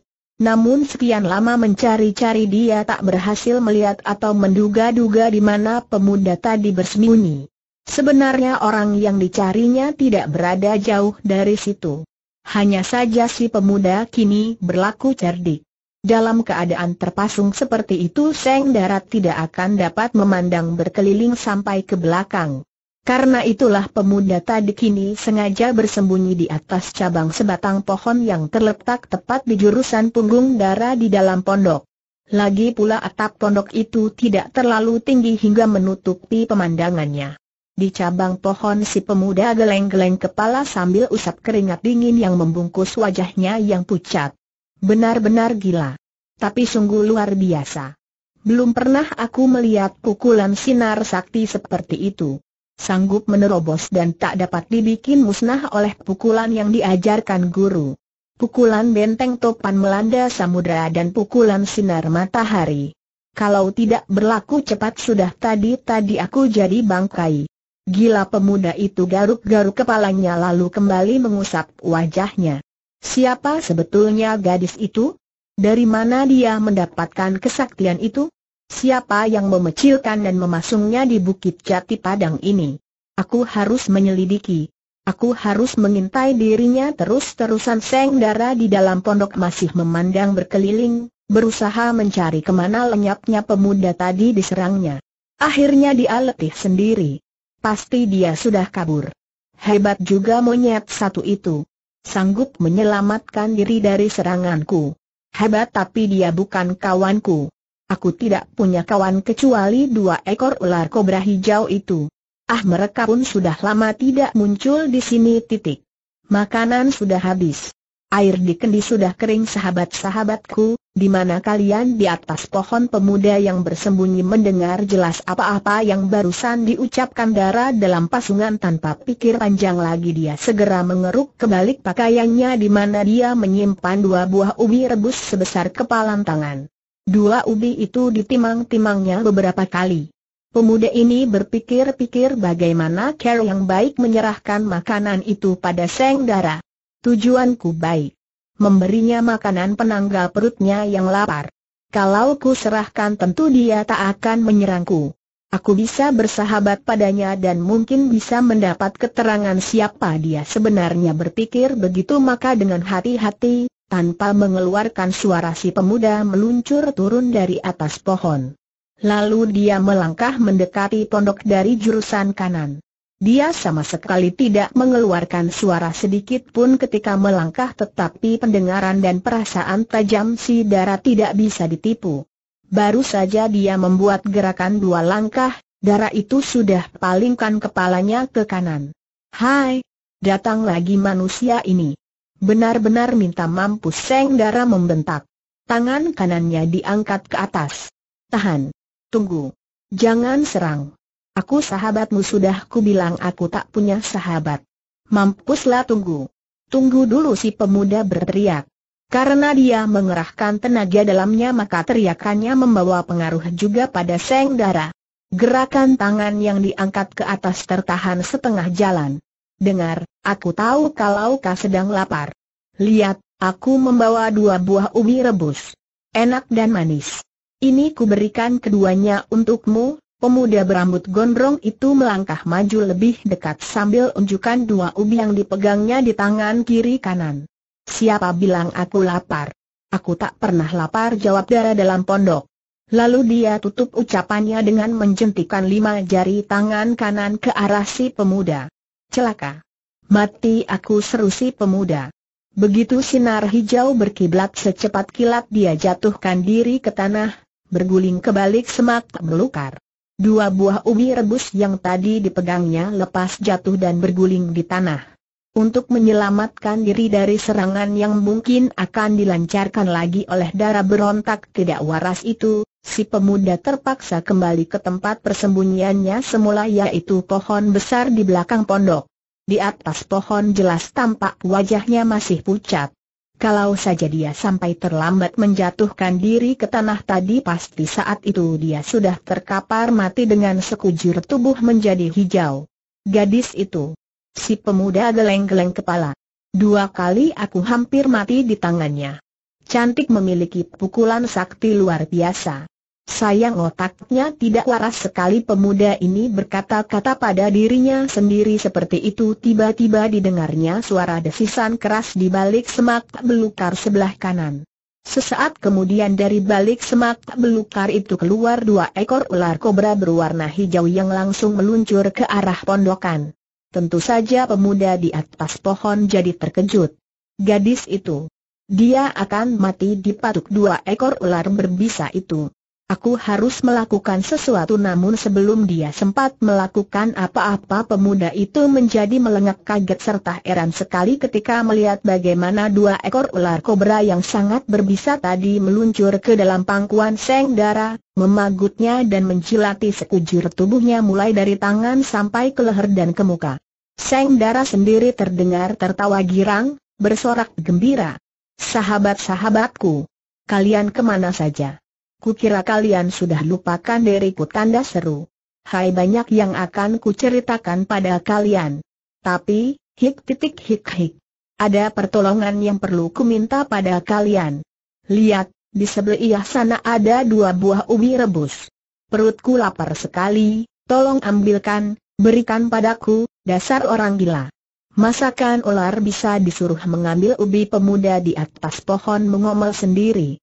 Namun sesaat kemudian matanya terbelalak melihat apa yang terjadi. Enam seperti manusia yang mendengar dan mengerti apa yang diucapkan darah dalam pasungan, dua ekor ular kobra meluncur turun dari atas tubuh darah itu lalu keduanya menuju ke tempat di mana dua buah ubi yang tadi dibawa di pemuda kini berada di tanah. Dengan menggelungkan ekornya pada ubi sebesar kepalan itu, Dua ekor ular lalu melata membawa ubi-ubi tersebut ke pangkuan Seng Dara. Luar biasa. Ini bukan sulap bukan ilmu gaib. Tapi kenyataan yang tak bisa ku percaya kalau tidak melihat sendiri pemuda di atas pohon garuk-garuk kepalanya. Dia tak habis pikir siapa adanya gadis dalam pasungan itu. Sekti, mampu bicara dengan ular tapi kenapa dipasung? Dan dua ekor ular itu apanya? Pesuruh guru-guru atau memang sahabat seperti yang dikatakannya berulang kali. Dalam waktu sebentar saja dua buah ubi rebus itu sudah hamlas ke dalam perut Seng Dara bersama tanah liat yang menempel. Seng Dara elus-elus perutnya. Dia mengusap-usap tubuh dua ekor ular. Binatang-binatang itu membalas dengan menjilati wajah si gadis hingga menjadi bersih sekali dan lebih kentara wajahnya yang cantik meskipun agak pucat dan cekung kedua pipinya. Sahabat-sahabatku, kalian sudah datang. Hatiku senang. Aku akan menyanyi untuk kalian. Kalian tentu suka mendengar aku menyanyi bukan? Hik, hik, hik sebagai jawaban dua ekor ular kobra keluarkan suara mendesis. Lalu Seng Dara pun mulai menyanyi yang sekali-kali diselingi suara tawa cekikikan. Perutku kenyang para sahabat telah datang hatiku senang hik, hik titik hik hari-hari siang hari-hari malam tinggal sendirian dalam hutan betulkah aku gila? Hik hik titik hik. Betulkah aku cantik? Hik hik titik hik. Perutku sudah kenyang dua sahabat sudah datang hatiku senang. Hik hik Nyanyian itu diulang terus-menerus sampai pemuda gondrong di atas pohon menjadi bosan dan sebal mendengarnya. Tapi di bawah sana dilihatnya dua ekor ular kobra hijau tampak meliuk-liukan tubuh mereka seperti menari mengikuti nyanyian si gadis. Tiba-tiba pemuda itu ingat sesuatu lalu meraba ke pinggangnya. Dari balik pakaian dikeluarkannya sebuah benda yang memancarkan sinar berkelauan. Ternyata sebuah kapak bermata dua, berhulu berbentuk kepala naga. Pada gagang senjata itu terdapat lobang-lobang menyerupai lobang suling. Si pemuda dekatkan mulut naga ke bibirnya lalu meniup. Mula-mula perlahan-lahan, lalu makin keras, makin keras. Ternyata si pemuda meniup serulingnya mengikuti suara nyanyian si gadis. Gadis dalam pondok tersentak begitu mendengar suara suling. Kepalanya mendongak dan matanya berputar liar. Dua ekor ular kobra berhenti meliuk-liuk. Seng darah tutup mulutnya rapat-rapat. Di atas pohon si gondrong hentikan tiupan sulingnya. Hai! Mengapa berhenti terdengar suara Seng darah? Dia palingkan kepala ke belakang, tapi pandangannya tertutup atap pondok. Ucapannya itu jelas menunjukkan bahwa dia menyukai suara seruling tadi. Hal ini diketahui pula oleh pemuda di atas pohon. Maka dia pun kembali meniup sulingnya. Begitu tiupan seruling menggema, dua ekor ular kobra tegakkan kepala, sama-sama mendesis lalu tiba-tiba sekali kedua binatang ini meluncur turun dari tubuh Seng Dara dan melesat ke arah pohon di atas mana pemuda yang meniup suling berada, terus naik ke atas pohon sambil keluarkan suara mendesis beringas buas. Celaka! Dua kobra itu hendak menyerangku si gondrong di atas pohon tersentak kaget. Senjata mustika yang tadi ditiupnya kini dipegang erat-erat di tangan kanan. Baginya tak mungkin meluncur turun atau memanjat lebih ke atas karena dua kobra itu pasti tetap akan mengejarnya. Karena itu dia menunggu dengan hati tercekat dan senjata siap di tangan. Hanya beberapa jengkal lagi ular itu akan siap mematuk dan si pemuda siap payunkan senjatanya, dari arah pondok terdengar suara Seng Dara berseru. Dua sahabatku, jangan bunuh orang itu. Dia orang gila yang membawa ubi yang tadi kemakan mendengar seruan itu, dua ular kobra yang meluncur ke atas pohon besar serta merta hentikan gerakan mereka.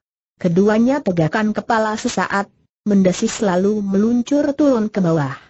Pemuda yang memegang kapak mustika tarik nafas lega. Rasa tegangnya lenyap kini. Namun justru di saat itu pula, di bawah sana tiba-tiba muncul seorang lelaki bertubuh tinggi besar, memelihara berwok dan kumis melintang yang liar, berpakaian serba hitam, memiliki sepasang mata besar berwarna kemerahan. Dia tegak di depan pondok dengan mata memandang tak berkesiap ke arah darah yang terpasung. Di tangan kanannya ada sebuah tongkat yang ujungnya ditekankan ke tanah dan tingginya hampir sebatas kepalanya. Tongkat ini berwarna kekuningan, terbuat dari sejenis tembaga. Betul rupanya cerita yang aku dengar titik si tinggi besar berkata dalam hati. Masih begini belia, memiliki ilmu luar biasa, sayang kalau tidak dimanfaatkan darah di dalam pondok memandang menyorot sambil tangannya mengusap-usap tubuh dua ekor ular kobra. Dua binatang ini begitu tahu ada orang yang datang, segera angkat kepala dan mendesis siap untuk menyerang. Sahabatku, tenang saja kalian. Aku mau tahu manusia kesasar dari mana yang mencari mati berani datang kemari mendengar ucapan Seng Dara, si berwok segera membuka mulut. Aku tidak kesasar datang kemari. Aku justru sengaja datang untuk bertemu dan bicara denganmu sengaja datang dan ingin bertemu serta bicara? Hik hik hik. Setahuku yang datang kemari hanyalah orang-orang yang ingin mati Aku datang bukan mencari mati, tapi mencarimu. Aku punya rencana besar rencana besar. Hik hik, hik. Rencana berbau maut. Tidakkah kau melihat mayat-mayat bergeletakan di sekitar tempat ini? Sebagian sudah membusuk. Ada tiga yang masih segar. Tidakkah hidungmu mencium busuknya bau bangkai? Hik, hik hik gadis, Dengar baik-baik apa yang akan kukatakan. Aku adalah Ronggo Munggul, bergelar tongkat setan naik, kau setan rupanya. Hik hik, hik orang berpakaian serba hitam tampak geram mendengar ucapan dan tawa si gadis. Tapi dia meneruskan kata-katanya. Aku adalah datuk segala rampok yang menguasai sembilan hutan di daerah ini, termasuk hutan dan bukit jati padang ini titik walah. Kowe rampok rupanya. Muncul di sini apa yang hendak kau rampok? Aku tak punya uang tak punya barang. Apa mau merampok kotoranku yang bertebaran di bawah lantai papan? Hik hik, hik tidak anak gadis, aku tidak akan merampokmu. Tapi hendak menjadikanmu kawanku aku tidak punya kawan selain dua ekor ular ini sentak seng darah. Baik titik baik jika kau tak mau menganggapku kawan. Tapi dengar.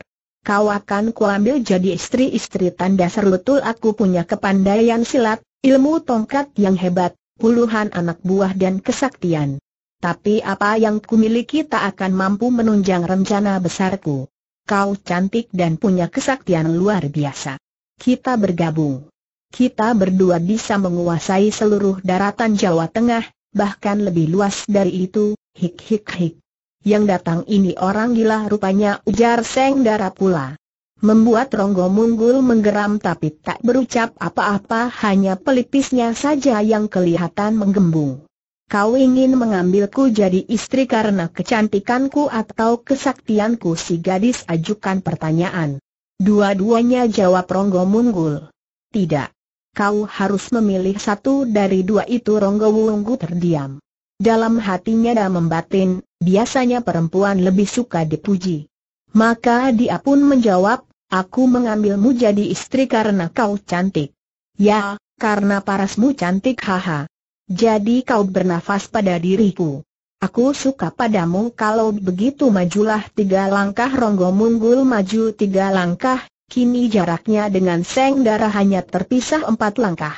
Kau betul suka padaku Ronggo Munggul mengangguk. Jongkoklah. Lihat baik-baik apakah kau suka pada tubuhku, Apakah tubuhku bagus tanda tanya habis berkata begitu Seng Dara tarik lepas bajunya di bagian dada. Sepasang mata ronggo munggul terbeliak, tenggorokannya turun naik. Darah tak waras itu ternyata memiliki sepasang payudara yang putih dan besar adat. Aku suka tubuhmu. Tubuhmu bagus. Mulus. Seng Dara tertawa panjang mendengar kata-kata ronggo munggul itu. Aku mau tahu apakah kau mampu melepaskan pasungan kedua kakiku tanda seru apa sulitnya. Akan ku hancurkan balok kayu itu. Sebentar saja kau akan bebas dan ku boyong ke markasku kata Ronggo Munggui pula. Lalu dia siapkan tongkatnya. Tidak. Kau tidak boleh menghancurkan kayunya. Tapi harus memutus rantai besi atau membuka dua buah gembok, atau menghancurkannya akan kulakukan. Lihat Ronggo angkat tongkatnya tinggi-tinggi. Lalu dengan ujung tongkat dihantamnya rantai besi di sebelah kanan. Terang tanda seru. Tongkat tembaga menghantam rantai besi dengan keras. Tapi rantai itu tidak putus, rusak pun tidak. Sebaliknya ujung tongkat Ronggo Munggul tampak bengkok dan ada yang somplak salah satu bagiannya. Terkejutlah si tongkat setan itu. Sebelumnya jangankan rantai besi, tiang besi sanggup dibuat putus oleh tongkat tembaganya itu. Si gadis keluarkan suara tertawa mengejek. Penasaran Ronggo balikan tongkatnya. Kini dia menghantam salah satu dari gembok besi. Kembali terdengar suara terang. Untuk kedua kalinya Ronggo munggul kaget dan berubah parasnya.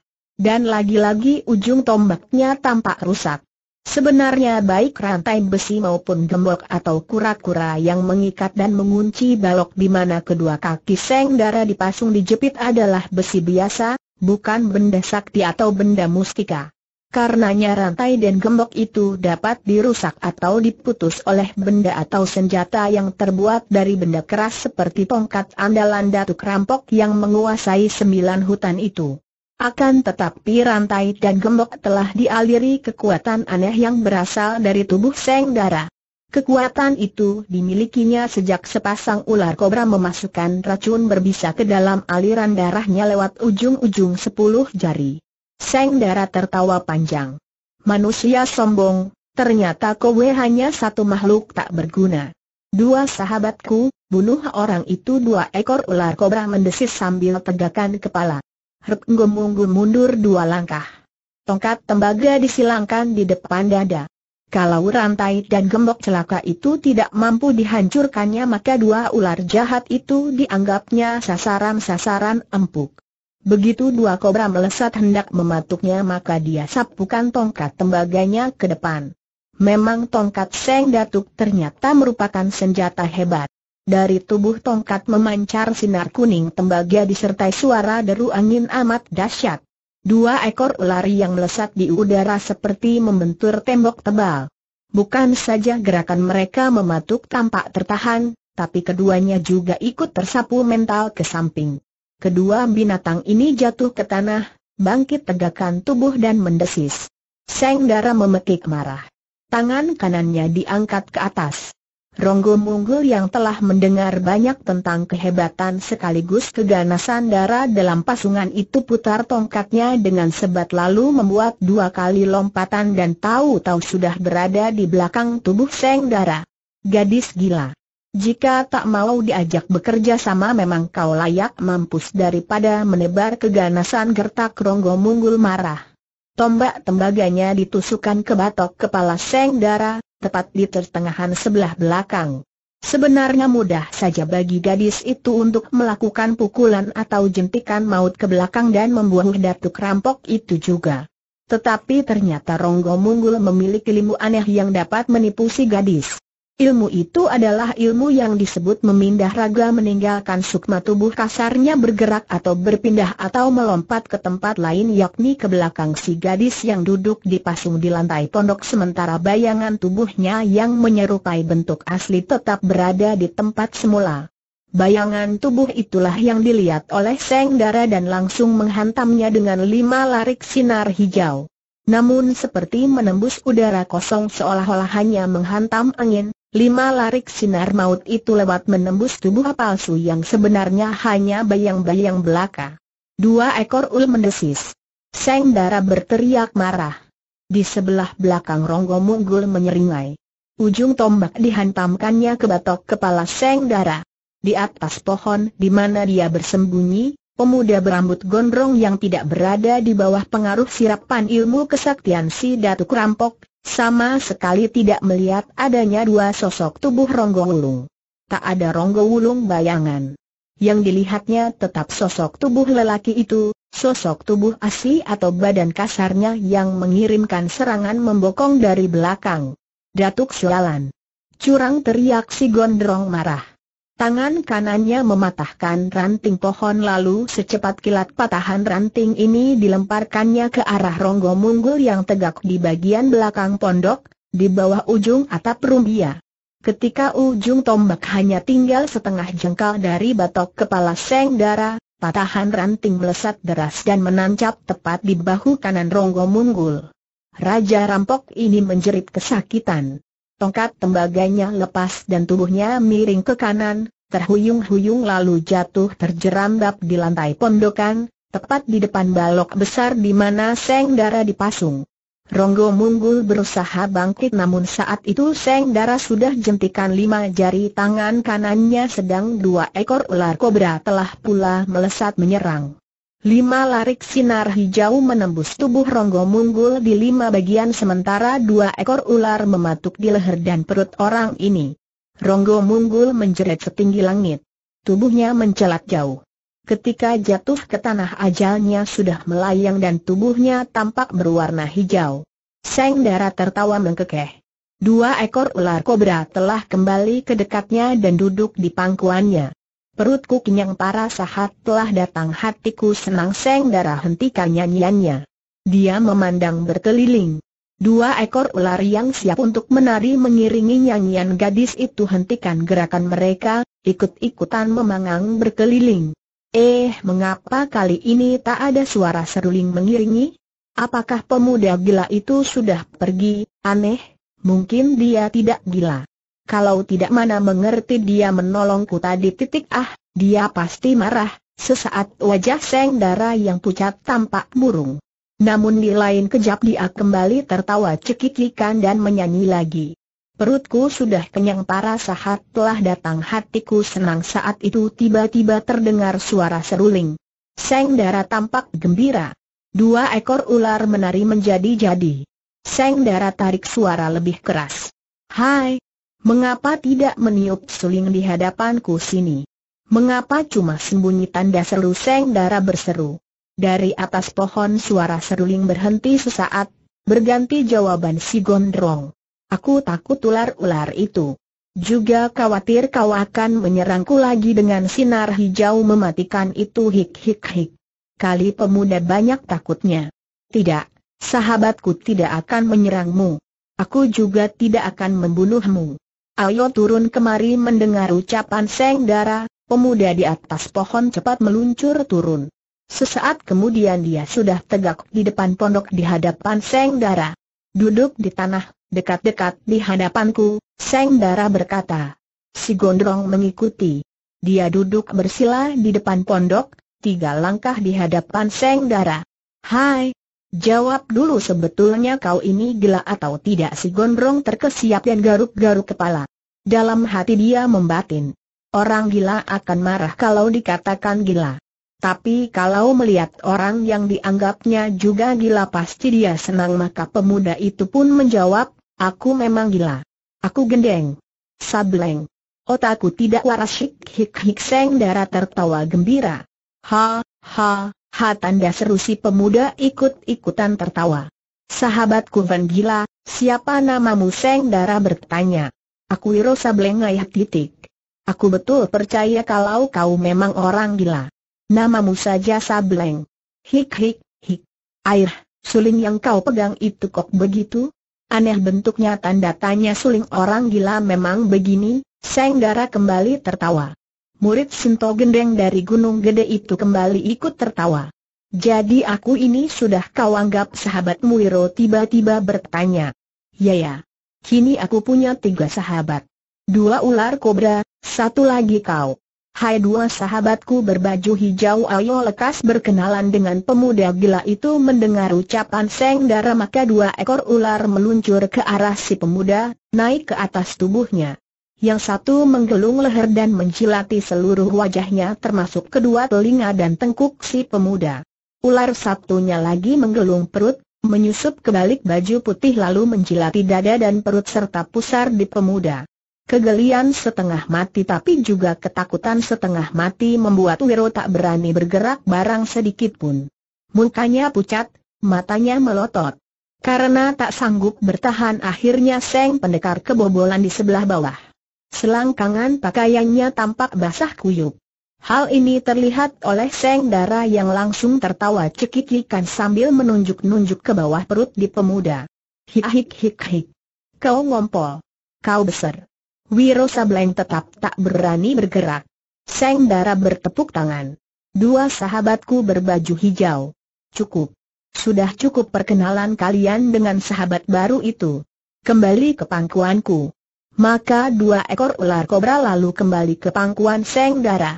Wiro yang merasa nyawanya terbang, tarik nafas lega berulang kali. Dadanya turun naik. Dia menyengir dan malu sendiri ketika melihat celana putihnya yang basah. Setelah batuk-batuk beberapa kali dan mengusap mukanya yang keringatan, Wiro berkata, Sahabat, terima kasih kau dan ular-ularmu itu mau bersahabat denganku. Aku sudah menerangkan namaku. Kau sudah tahu kalau aku pemuda gila bernama Wiro Sableng. Apakah aku boleh tahu siapa kau ini sebenarnya? Siapa namamu Seng Dara cekikikan? Tapi hanya sebentar. Setelah menjambak rambutnya beberapa kali dia berkata, mana aku tahu namaku sendiri. Apakah aku punya nama, apakah ada orang yang memberiku nama? Aku tidak tahu. Aku lupa Wiro garuk-garuk kepalanya. Dalam hati dia membatin. Orang gila betapapun tidak warasnya tetap senang akan sesuatu yang bagus.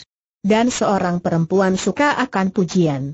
Maka murid Sinto Gendeng ini pun berkata, jika kau memang tidak bernama atau lupa namamu sendiri, maukah jika aku memberikan nama bagus padamu Seng Dara yang bernama Yuniarti, putri hartawan tambak jati kali diningrat itu tertawa geli. Dasar orang gila. Apa kau kira aku ini orok yang baru lahir lalu diberi nama tentu saja tidak sahabatku yang cantik, jawab Wiro Seraya memuji tapi rasanya tidak enak kalau seseorang tak punya nama. Percayalah aku akan memberikan nama bagus dan cocok untukmu kalau tidak cocok dan bagus, akan kubunuh kau ahah. Bukankah kita bersahabat? Sesama sahabat tak boleh membunuh. Betul kan tanda seru baiklah. Katakan nama apa yang akan kau berikan padaku, sahabatku yang gila Dewi. Nama itu cocok dan bagus untukmu. Kau suka nama Dewi itu? Pasti suka Seng Dara terdiam sejenak. Seperti berpikir-pikir. Lalu meledak tawanya. Baik-baik. Aku terima nama itu. Memang bagus tapi aku tidak tahu apa cocok untukku tentu cocok. Kau pandai dan kau cantik. Hanya seorang Dewi yang berkemampuan seperti itu. Nah, aku masih ada pertanyaan. Sahabatku Dewi, kau ini sebenarnya berasal dari mana? Siapa yang membawamu ke tempat ini pertanyaanmu susah. Aku tak mampu menjawab kau pasti mampu. Kau seorang Dewi Sengdara menarik nafas panjang.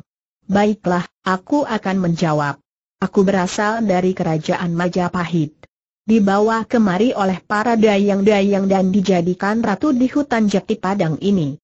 Hik-hik Wiro hanya bisa garuk-garuk kepala mendengar jawaban ngawur itu. Dalam hatinya dia merasa sangat hiba. Bagaimana gadis sebelia ini, berparas jelita dipasung dan dikucilkan di tempat ini. Dia berpikir keras. Kalau saja dia bisa menyembuhkan penyakit sahabatnya itu hatinya akan sangat bahagia. Seng Dara pasti punya kampung halaman, punya orang tua. Dan kalau dia bisa kembali ke orang tuanya, Tiba-tiba dia ingat sahabatnya kakek aneh sakti berpengetahuan sangat luas bernama Si Segaya tahu. Aku harus menemui orang tua itu. Mencarinya sampai dapat. Meminta bantuannya. Mudah-mudahan saja kakek itu belum mati hai. Orang gila. Kenapa kau melamun? Ayo aku mau menyanyi. Kau meniup suling dan dua sahabat berbaju hijau menari Wiro menganggukkan kepala lalu berkata, sehabis puas menyanyi aku akan mohon diri. Tapi aku berjanji akan kembali kemari lagi. Boleh ya tanda tanya tujuh tu menggunggiri Jolo lebih muda penampilannya dari usianya yang sebenarnya. Dalam usia hampir 60 Tumenggung ini kelihatan masih tegap, gesit gerak-geriknya, pendengaran maupun kedua matanya masih tajam. Saat itu Giri Jolo duduk di pendopo rumah besar kediamannya yang terletak di luar kota raja, pada sebuah bukit yang halamannya luasnya ditumbuhi rumput. Wajahnya jelas tampak gelisah. Sebentar-sebentar dia tegak dari kursi, melangkah mundar-mandir, menyulut rokok tapi tidak menghisap malah membuangnya. Tinggal satu bulan lagi Sri Baginda akan mengambil keputusan. Aku atau si Boyolali. Heran. Mengapa Sri Baginda bisa berubah pikiran seperti itu?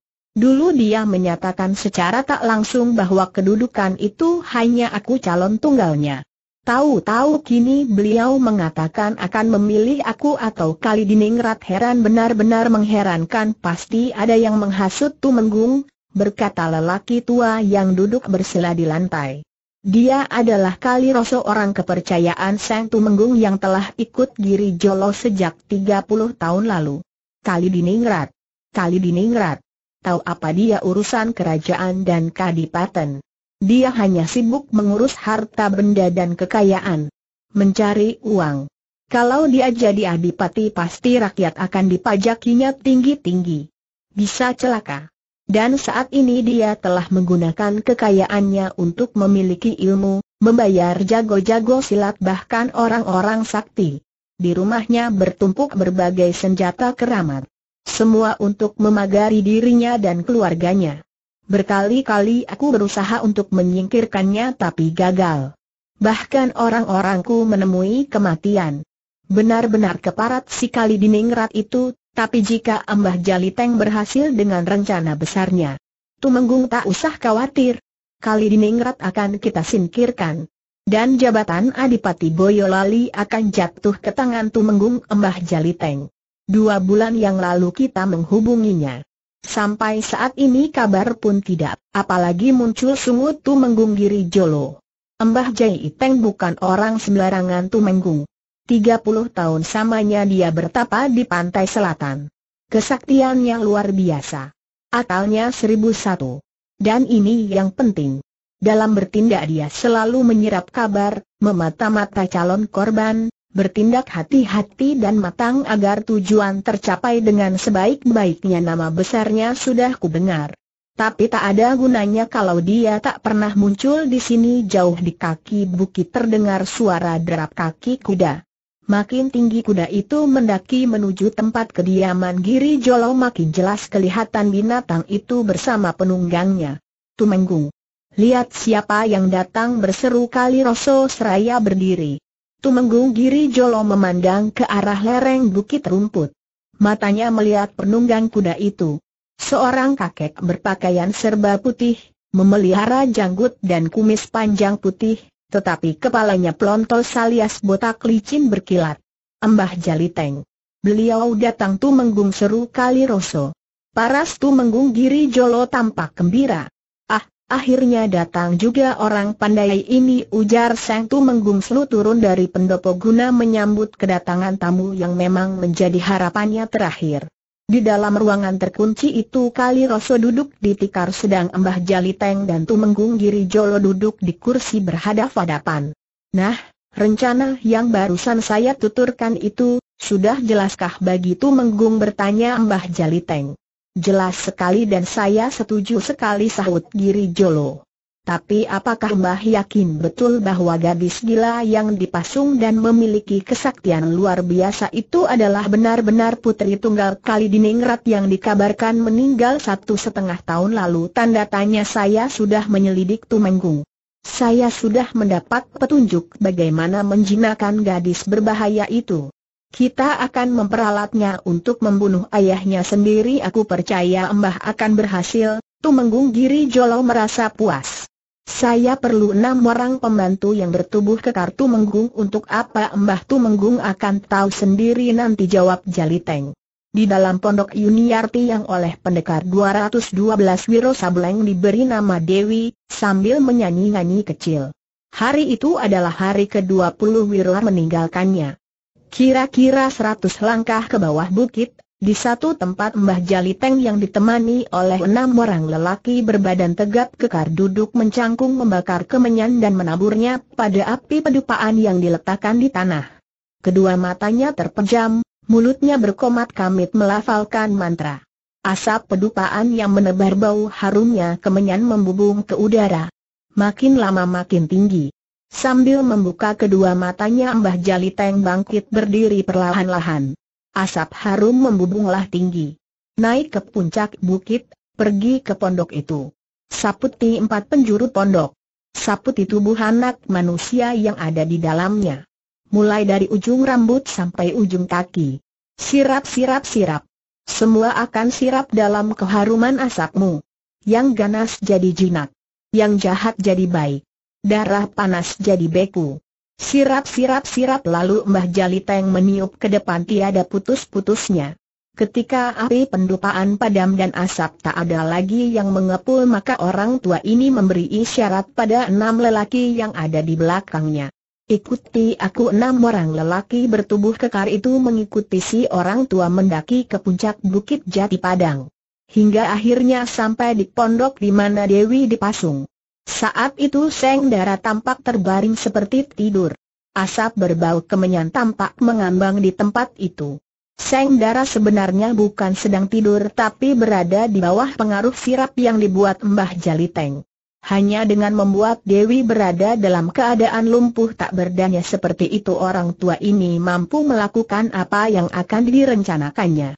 Selama si gadis berada dalam keadaan sadar, tak satu kekuatan pun sanggup menghadapi sinar hijau berbisa yang setiap saat bisa dijentikannya. Hai ini diketahui betul oleh kakek yang cerdik itu. Tanggalkan tiang-tiang pondok. Lemparkan atap rumbia Mbah Jaliteng memerintah. Enam orang lelaki bekerja cepat. Sebentar saja pondok itu hanya tinggal lantainya saja. Dengar baik-baik, kata Mbah Jaliteng pula. Gadis ini akan kita bawa ke rumah hartawan Kali Diningrat di selatan kota Raja. Jika kita berangkat saat ini juga, besok sebelum matahari terbit kita sudah bisa sampai di sana. Empat orang dari kalian harus memanggul gadis itu bersama-sama lantai tempat ketidurannya. Dua lainnya bertugas merabas semak belukar membuka jalan orang tua, aku sanggup mendukung gadis ini sendirian. Mengapa tidak dilepaskan saja ikatan rantai besi itu?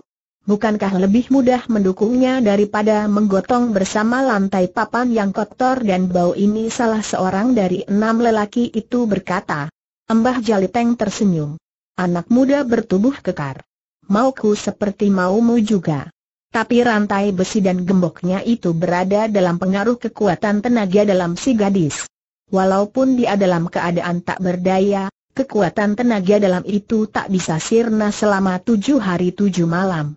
Kalau kau tak percaya silahkan coba sendiri Mbah Jaliteng lalu menyerahkan sebilah golok besar kepada lelaki muda yang tadi bicara.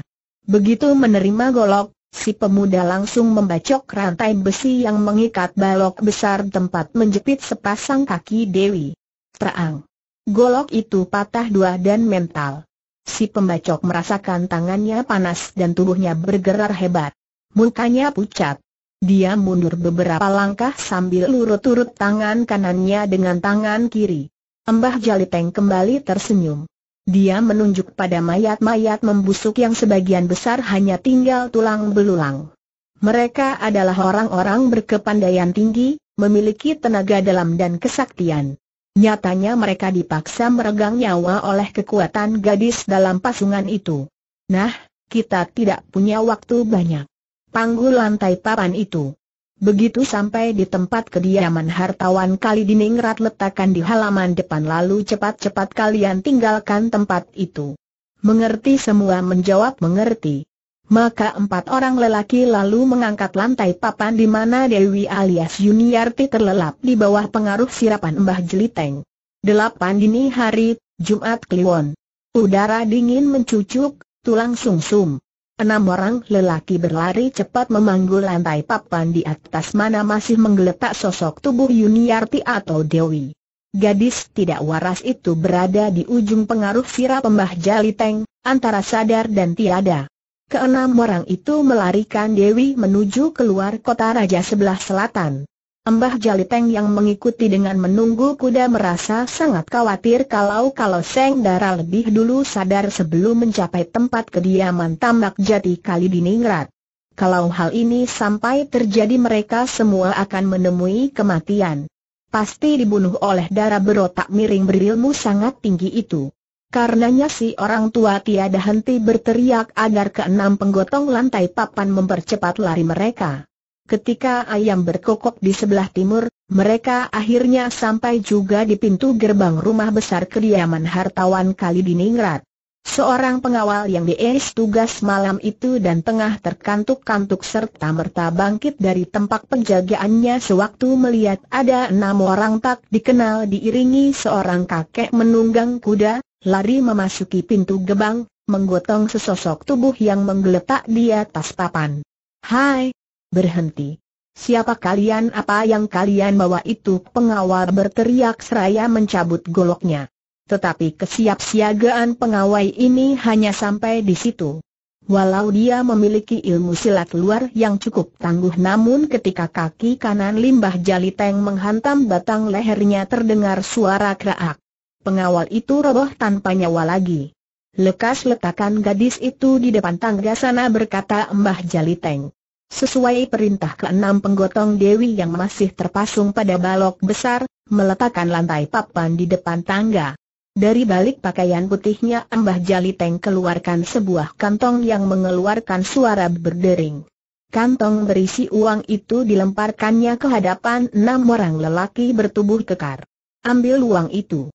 Bagi-bagi yang rata dan lekas minggat dari tempat ini lalu mendahului keenam orang tersebut Ambah Jaliteng bedal kuda tunggangannya.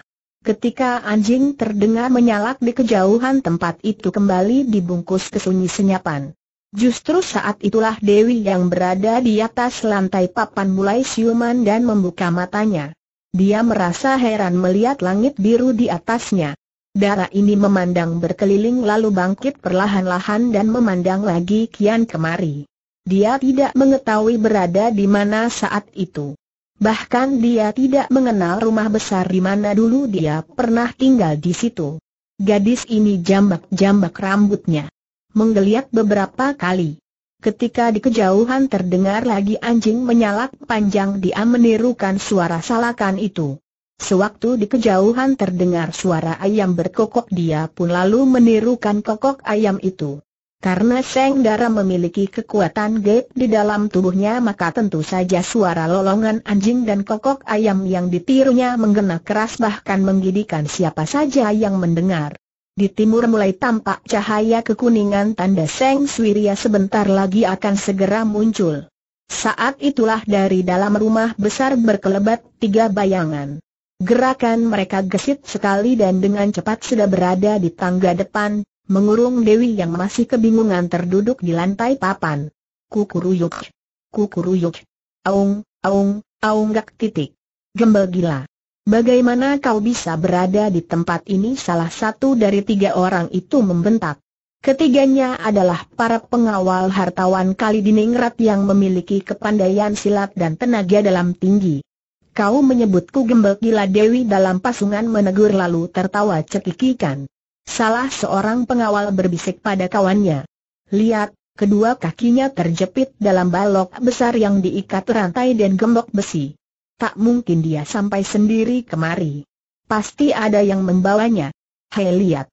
Di sebelah sana petugas jaga malam kulihat menggeletak orang ini cepat berlari ke pintu gerbang sementara Dewi masih terus mengumbar suara tertawa. Orang yang menyelidiki ke pintu gerbang kembali dengan nafas mengengah petugas jaga itu mati. Lehernya patah gembel gila. Hentikan tertawamu suara tawa Dewi lenyap. Bukan karena bentakan itu tapi karena otak tidak warasnya mulai berpikir tentang maut. Darah menyeringai. Dua kali kau menyebut aku gembel gila sudah lebih dari cukup. Mampuslah dua jari tangan kirinya dijentikan. Dua sinar hijau menderu dalam udara terang tanah pengawal yang menjadi sasaran serangan terpekik. Tubuhnya terpental lalu roboh dengan dua bintik hijau di kening. Seperti kejadian yang sudah-sudah pengawal ini mati dengan tubuh berwarna hijau. Melihat hal ini, dua kawannya berteriak marah. Satu melompat sambil lulurkan tangan, maksudnya hendak menjambak rambut Seng Dara. Satunya lagi dengan kalap sudah lebih dulu kirimkan tendangan ke dada Dewi Gembel Gila. Mampus kau Seng Dara perdengarkan kembali suara tawanya yang melengking cekikikan. Bersama dengan itu tangannya kiri kanan dijentikan. Lima larik sinar hijau berkiblat dari masing-masing tangan. Dan terdengarlah pekik dua pengawal berkepandaian tinggi itu. Tubuh keduanya terpental. Satu terlempar ke langkan rumah, satunya lagi terguling di halaman. Keduanya mati dengan cara yang sama lima bintik maut pada tubuh masing-masing yang kini berwarna hijau. Embok Guminten bekerja sebagai pelayan di rumah kediaman hartawan tambak jati kali di Ningrat. Dia merupakan satu dari empat pelayan yang bekerja di situ dan yang paling lama yakni seumur Yuniarti. Karena sejak kecil dia juga dipercayai untuk mengasuh Yuniarti maka bagaimanapun keadaan Seng Dara pelayan ini tak bergalak bisa pangling. Pagi itu Mok Guminten seperti biasanya bangun lebih dahulu dari pelayan-pelayan lainnya, tentunya juga lebih dahulu dari suami istri kali di Ningrat. Mendengar suara ribut-ribut di halaman depan pelayan ini setengah berlari segera membuka pintu depan. Bukan tiga sosok mayat pengawal yang membuatnya menjerit ketakutan, tapi sosok tubuh gadis yang terpasung di dekat tangga depan yang membuat perempuan ini berteriak dan menggigil. Wajah gadis itu adalah wajah mendiang Yuniarti, putri majikannya yang meninggal dunia satu setengah tahun lalu akibat sakit sampar. Kini gadis itu muncul dalam keadaan seperti itu. Tidak dapat tidak pasti itu adalah setannya. Arwahnya yang gentayangan. Embok Guminten menjerit lagi lalu menghambur lari ke dalam rumah. Hampir saja dia bertabrakan dengan majikan perempuannya di ruang tengah. Embok Guminten ada apakah seperti orang dikejar setan, menegur istri hartawan kali. Setan memang ada setan Jeng Ayu. Setan-setannya dan Ayu Yuniarti, jawab si pelayar, seraya menunjuk-nunjuk ke bagian depan rumah. Jangan bicara melantur pagi-pagi begini Mok Guminten ujar istri hartawan kali di Ningrat. Kau membuat kacau saja. Demi Tuhan Jeng Ayu. Silahkan Jeng Ayu melihat sendiri ke depan antara percaya dan tidak akhirnya Seng Majikan melangkah juga menuju bagian depan rumah dan membuka pintu yang tadi dibantingkan si pelayan. Saat itu hari telah mulai terang karena di timur matahari telah terbit. Pintu terbuka lebar. Istri hartawan Kali Diningrat melangkah ke langkah depan dan saat itu pula langkahnya tertahan. Ya Gusti Allah betulkah itu betulkah itu dia? Anakku Yuniarti. Yuniarti perempuan itu menjerit tapi tak berani mendekat. Dia menjerit lagi, membuat tambak jati suaminya terbangun. Lelaki ini segera menyambar beberapa senjata pusaka dan menyisipkan di pinggang baru membuka pintu kamar dan menghambur keluar. Saat itu beberapa orang pengawal telah pula berdatangan dan segera mengurung Dewi sementara beberapa orang lainnya menggotong empat mayat yang bergelimpang di halaman depan itu. Apa yang terjadi? Ada apa? Hartawan tambak jati kali diningrat bertanya tegang. Sang istri yang masih menjerit-jerit langsung menubruk suaminya. Sebelum sempat mengatakan sesuatu perempuan ini sudah rubuh pingsan tambak jati berteriak memanggil pelayan perempuan. Istrinya segera dibawa masuk dan dibaringkan di atas ranjang. Tambak jati sendiri segera melompati anak tangga dan menyeruak di antara kerumunan para pengawal. Sepasang mata hartawan ini terpentang lebar. Tubuhnya menggigil. Ada rasa kerinduan yang menusuk yang membuatnya ingin memeluk gadis yang duduk terpasung itu. Tetapi perasaannya yang lain mengatakan bahwa gadis itu bukanlah Yuniarti, melainkan hantu atau setannya. Namun apakah ada setan atau hantu yang menunjukkan diri seperti itu di pagi hari yang mulai terang itu? Untuk memperkuat hatinya tambak jati pegang keris pusaka di pinggangnya. Dia melangkah lebih dekat. Gerakannya tertahan ketika tiba-tiba terdengar suara tawa panjang mengerikan. Para pengawal bersibak. Kemudian terjadilah hal yang hebat. Tambak jati sempat melihat ada beberapa larik sinar hijau berkiblat. Lalu tiga pengawal terbanting ke tanah. Tubuh mereka berwarna hijau. Tak berkutik lagi alias mati.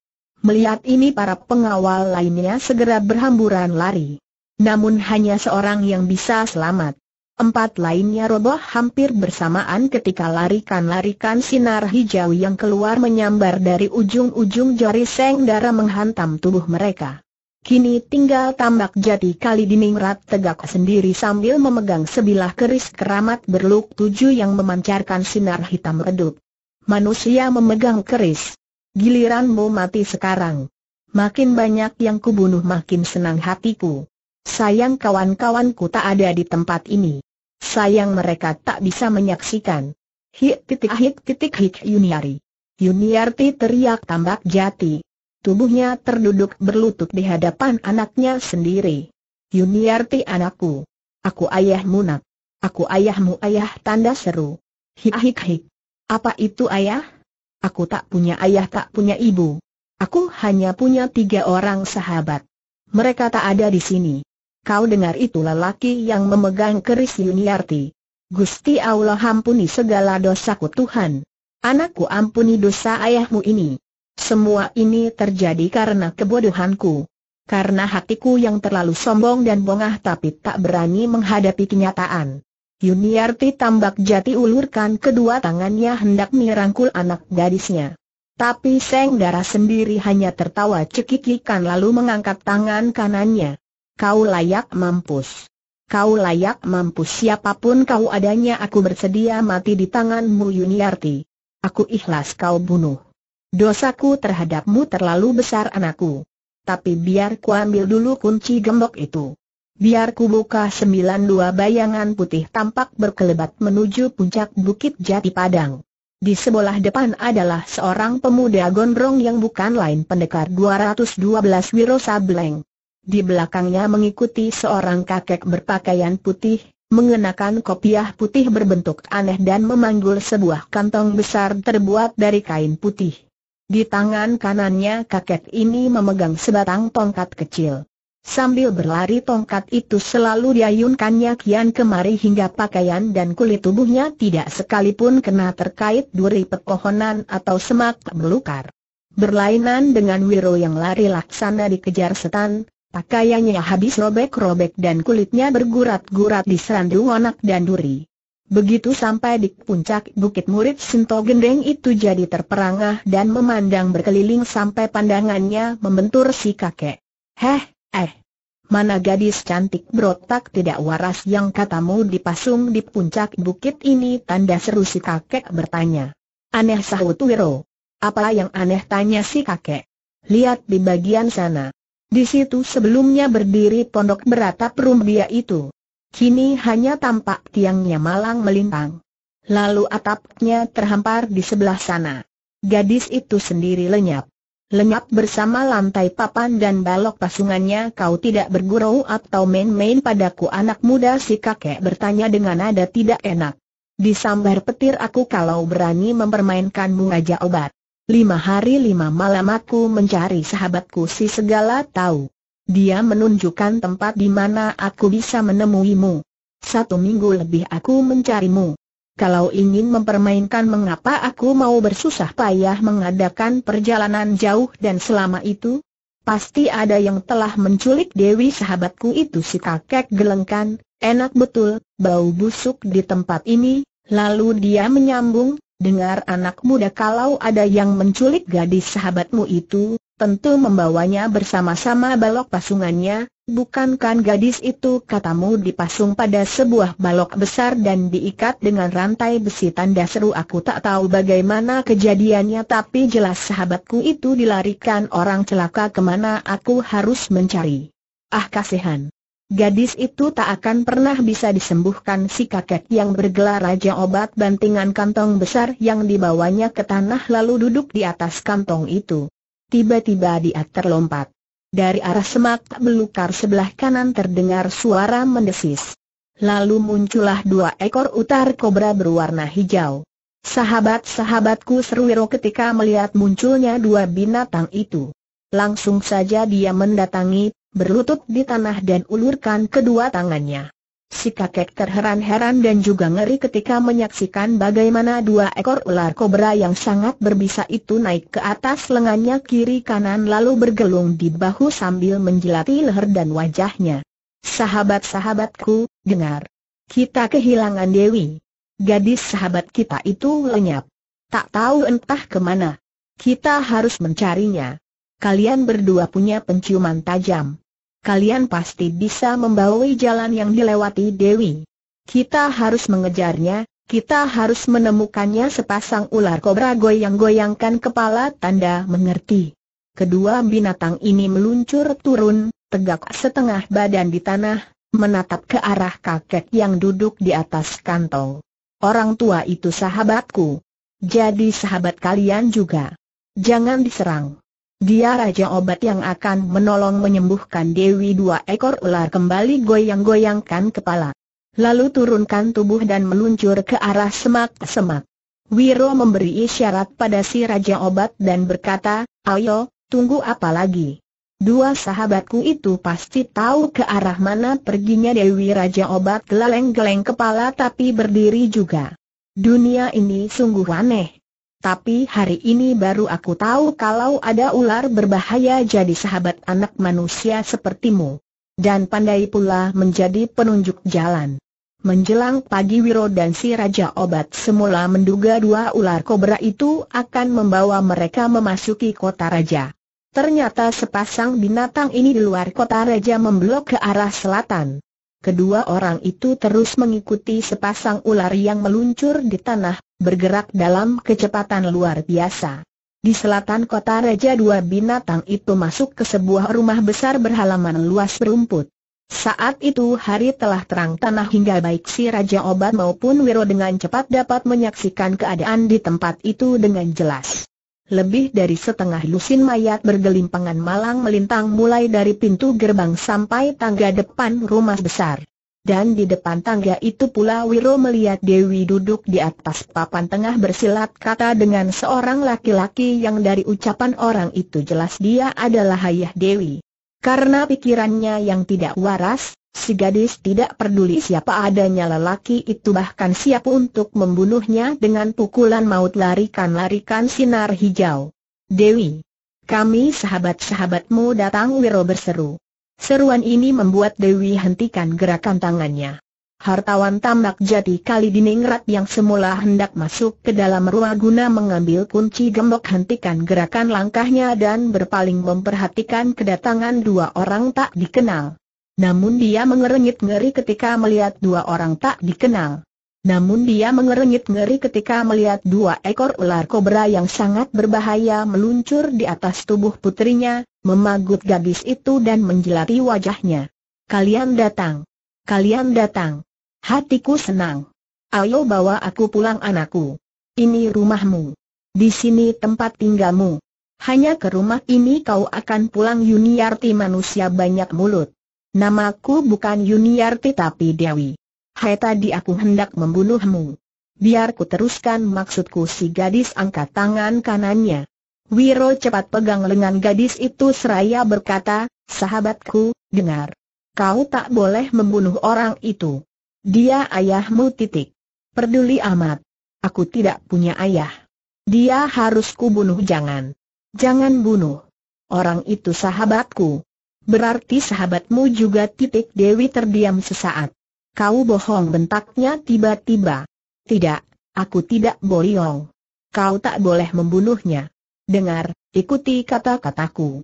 Nanti akan kubawa kau kembali ke pondok di Bukit Jati Padang. Titik pondok itu sudah dirusak orang-orang jahat. Aku sempat melihat sebelum aku tertidur aku akan buatkan pondok baru untukmu. Lebih bagus. Asal kau tidak membunuh lelaki yang memegang keris itu titik hik hik. Baiklah, aku menurut katamu.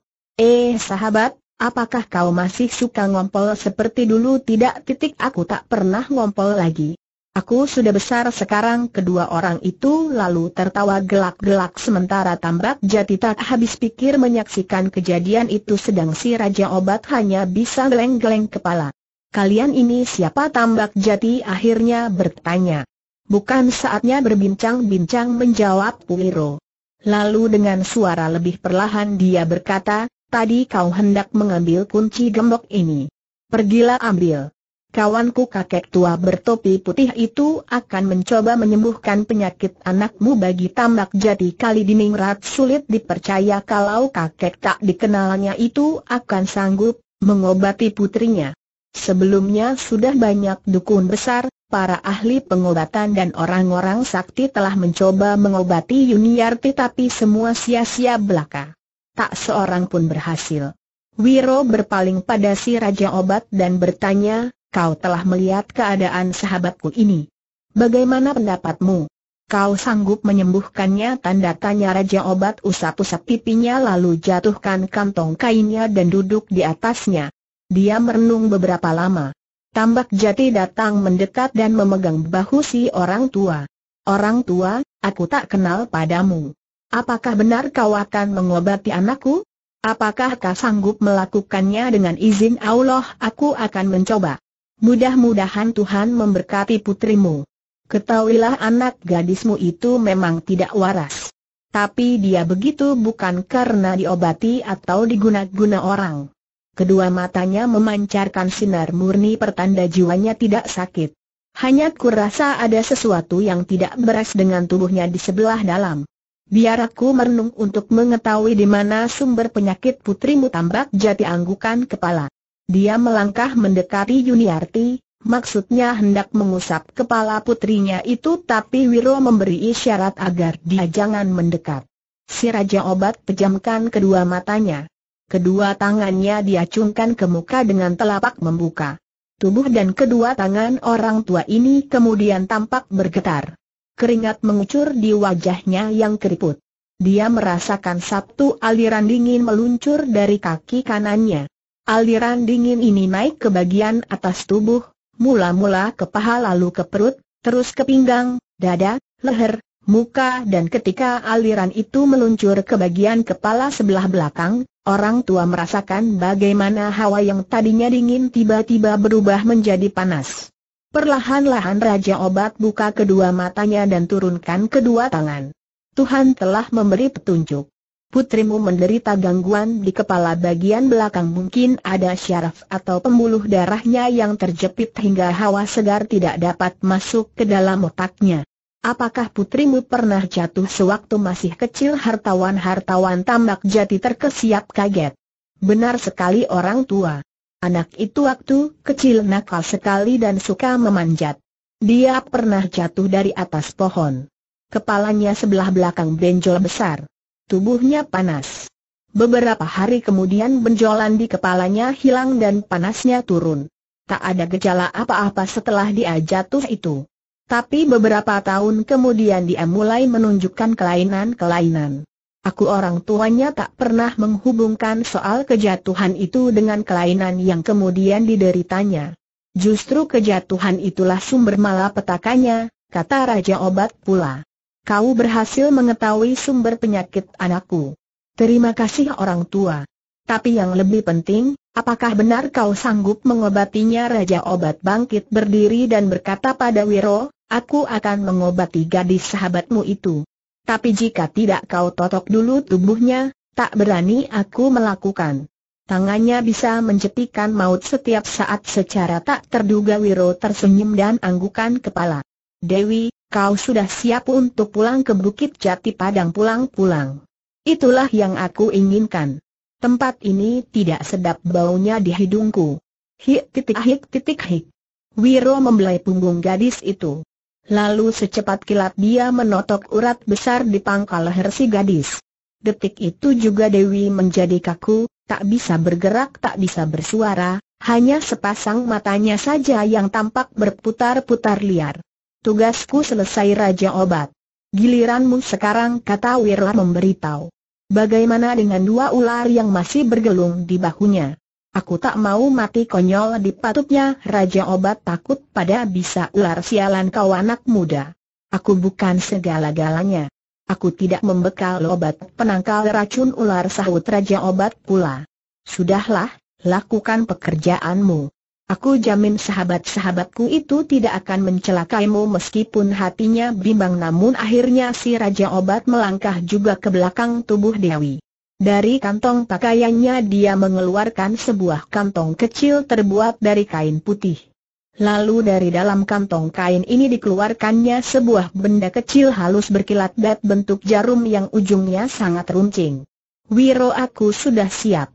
Awasi sahabat-sahabatmu itu si Raja Obat memberitahu. Lakukan tugasmu Raja Obat. Dua sahabatku tak akan mengganggumu jawab Wiro.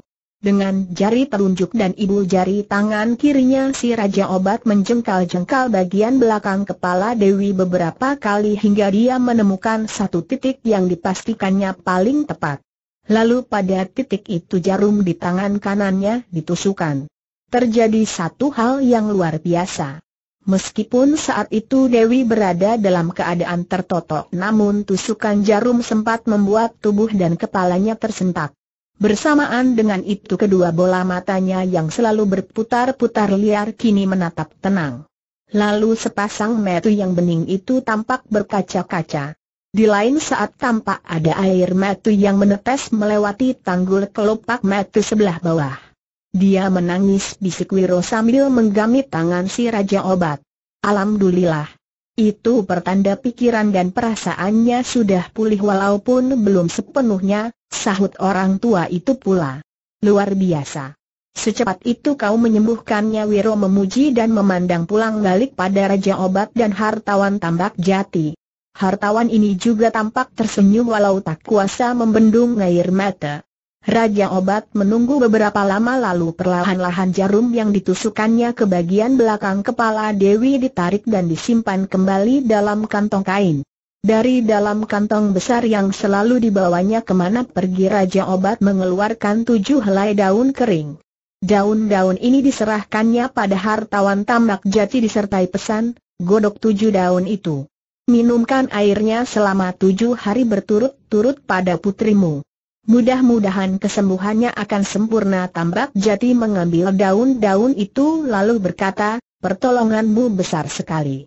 Hutang budi ini Jangan menyebut segala hutang budi. Aku Raja Obat memang tugasku berbakti untuk menyembuhkan segala macam penyakit. Tapi kesembuhan bukan aku yang membuat melainkan Tuhan yang Maha Kuasa. Berterima kasih padanya, Raja Obat berpaling pada Wiro. Anak muda, Saatnya kau melepaskan totokan di tubuh sahabatmu itu. Tapi sebelum melepaskan, alirkan tenaga dalammu ke tubuhnya agar kedua kakinya mampu digerakkan. Selama beberapa hari dia tak akan mampu berdiri dan berjalan. Tapi semampu berdiri dan kembali berjalan, Wiro anggukan kepala titik dia menoleh ke arah tambak jati dan berkata, saatnya untuk mengambil kunci gembok dan membuka rantai besi itu, Tambak jati kali diningrat melompat masuk ke dalam rumah. Di ruangan tidur istrinya masih berada dalam keadaan pingsan. Begitu kunci gembok didapat, dia kembali keluar. Dia sendiri yang membuka dua buah gembok. Rantai besi terbuka. Balok besar yang memasung kedua kaki si gadis ikut lepas. Dengan air mata berlinang tambak jati mengusap-usap kedua kaki anaknya. Dosaku besar sekali terhadapmu anakku, ampunilah ayahmu yang jahat ini juga ibumu titik. Ingin lelaki itu merangkul dan mencium putrinya. Tapi sepasang ular kobra yang masih melingkar di bahu Dewi membuat hatinya kecut. Wiro melangkah ke belakang si gadis. Mengusap punggungnya sambil mengerahkan tenaga dalam lalu melepaskan totokan pada pangkal leher Dewi. Begitu totokan terlepas, pekik dahsyat meledak keluar dari mulut gadis itu. Kesadaran rupanya membuat dia sangat takut pada dua ular yang memagut bahunya. Dia berusaha bangkit tapi jatuh kembali karena kedua kakinya masih lemah sahabatku, tak usah takut. Ular-ular itu tak akan menggigitmu. Bukankah mereka sahabat-sahabatmu tanda tanya meskipun Wiro berkata begitu, si gadis masih saja menggigil ketakutan tapi melihat dua ekor ular itu begitu jinak, meskipun agak takut-takut si gadis membelai-belai tubuh keduanya. Sahabat-sahabatku, bisiknya berulang kali dengan mata, terus berkaca-kaca. Dia memandang pada Wiro.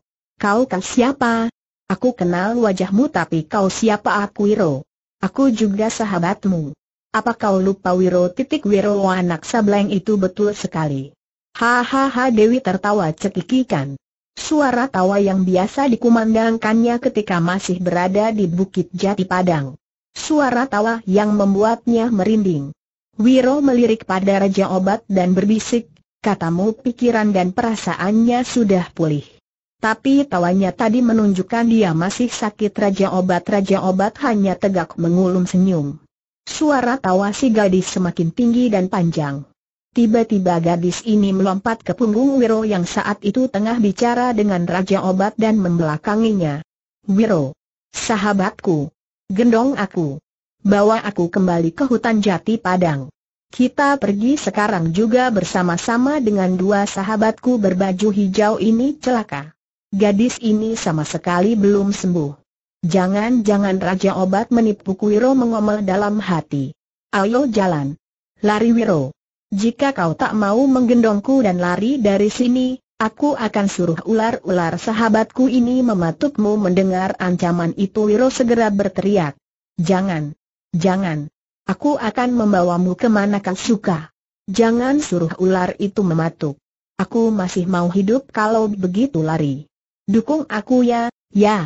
Aku segera lari sebelum meninggalkan tempat itu Wiro Sableng berpaling pada Raja Obat. Kau lihat sendiri. Dia masih belum sembuh. Kini aku ketiban celaka, kau Raja Obat tolol dimaki begitu si kakek hanya ganda tertawa malah lambaikan tangan. Selamat jalan anak muda tanda seru katanya. Selamat jalan segala. Eden maki Wiro. Lalu dia mulai berlari meninggalkan tempat itu sementara tambak jati kali diningrat bersiap untuk mengejar tapi dipegang bahunya oleh si Raja Obat. Biarkan saja mereka tak akan pergi ke mana-mana ucapan itu tambah membuat tambak jati tidak mengerti. Dia hendak mengibaskan tangannya yang dipegang, tapi cekalan si Raja Obat kuat sekali, dia tak mampu melepaskan bahunya. Kurang kencang Wiro. Kurang kencang. Ayo lari yang kencang terdengar ucapan Dewi berulang-ulang sementara dua ekor ular ikut mendesis-desis. Aku sudah lari sekencang ku bisa. Nafasku sudah megap-megap, ah, kau berdosa gila. Rasanya sudah mau mati. Tubuhmu berat sekali teriak Wiro yang lari sambil mendukung Dewi di punggungnya. Tiba-tiba si gadis keluarkan suara tertawa ha, ha, ha, Khas suara tawa yang lain sekali dengan tawa-tawanya sebelumnya. Bukan suara tawa cekikikan itu. Heh Wiro berpaling. Dilihatnya Dewi tertawa lebar malah mencibirkan mulutnya.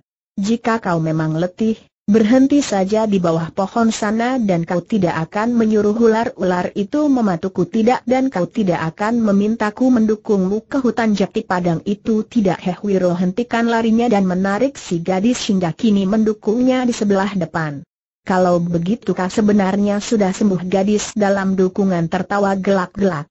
Karena pertolonganmu aku memang sudah sembuh. Hanya kedua kakiku masih lemah karena terlalu lama dipasung. Aku hanya menggodamu. Berpura-pura masih sakit dan mengancammu agar mendukungku ke puncak jati padang Eden Wiro turunkan Dewi dan sandarkan ke batang pohon rindang di tepi jalan. Keduanya lalu tertawa gelak-gelak dan saling berangkulan. Sepasang ular kobra hijau mendesis-desis berulang kali seolah-olah juga ikut tertawa gembira.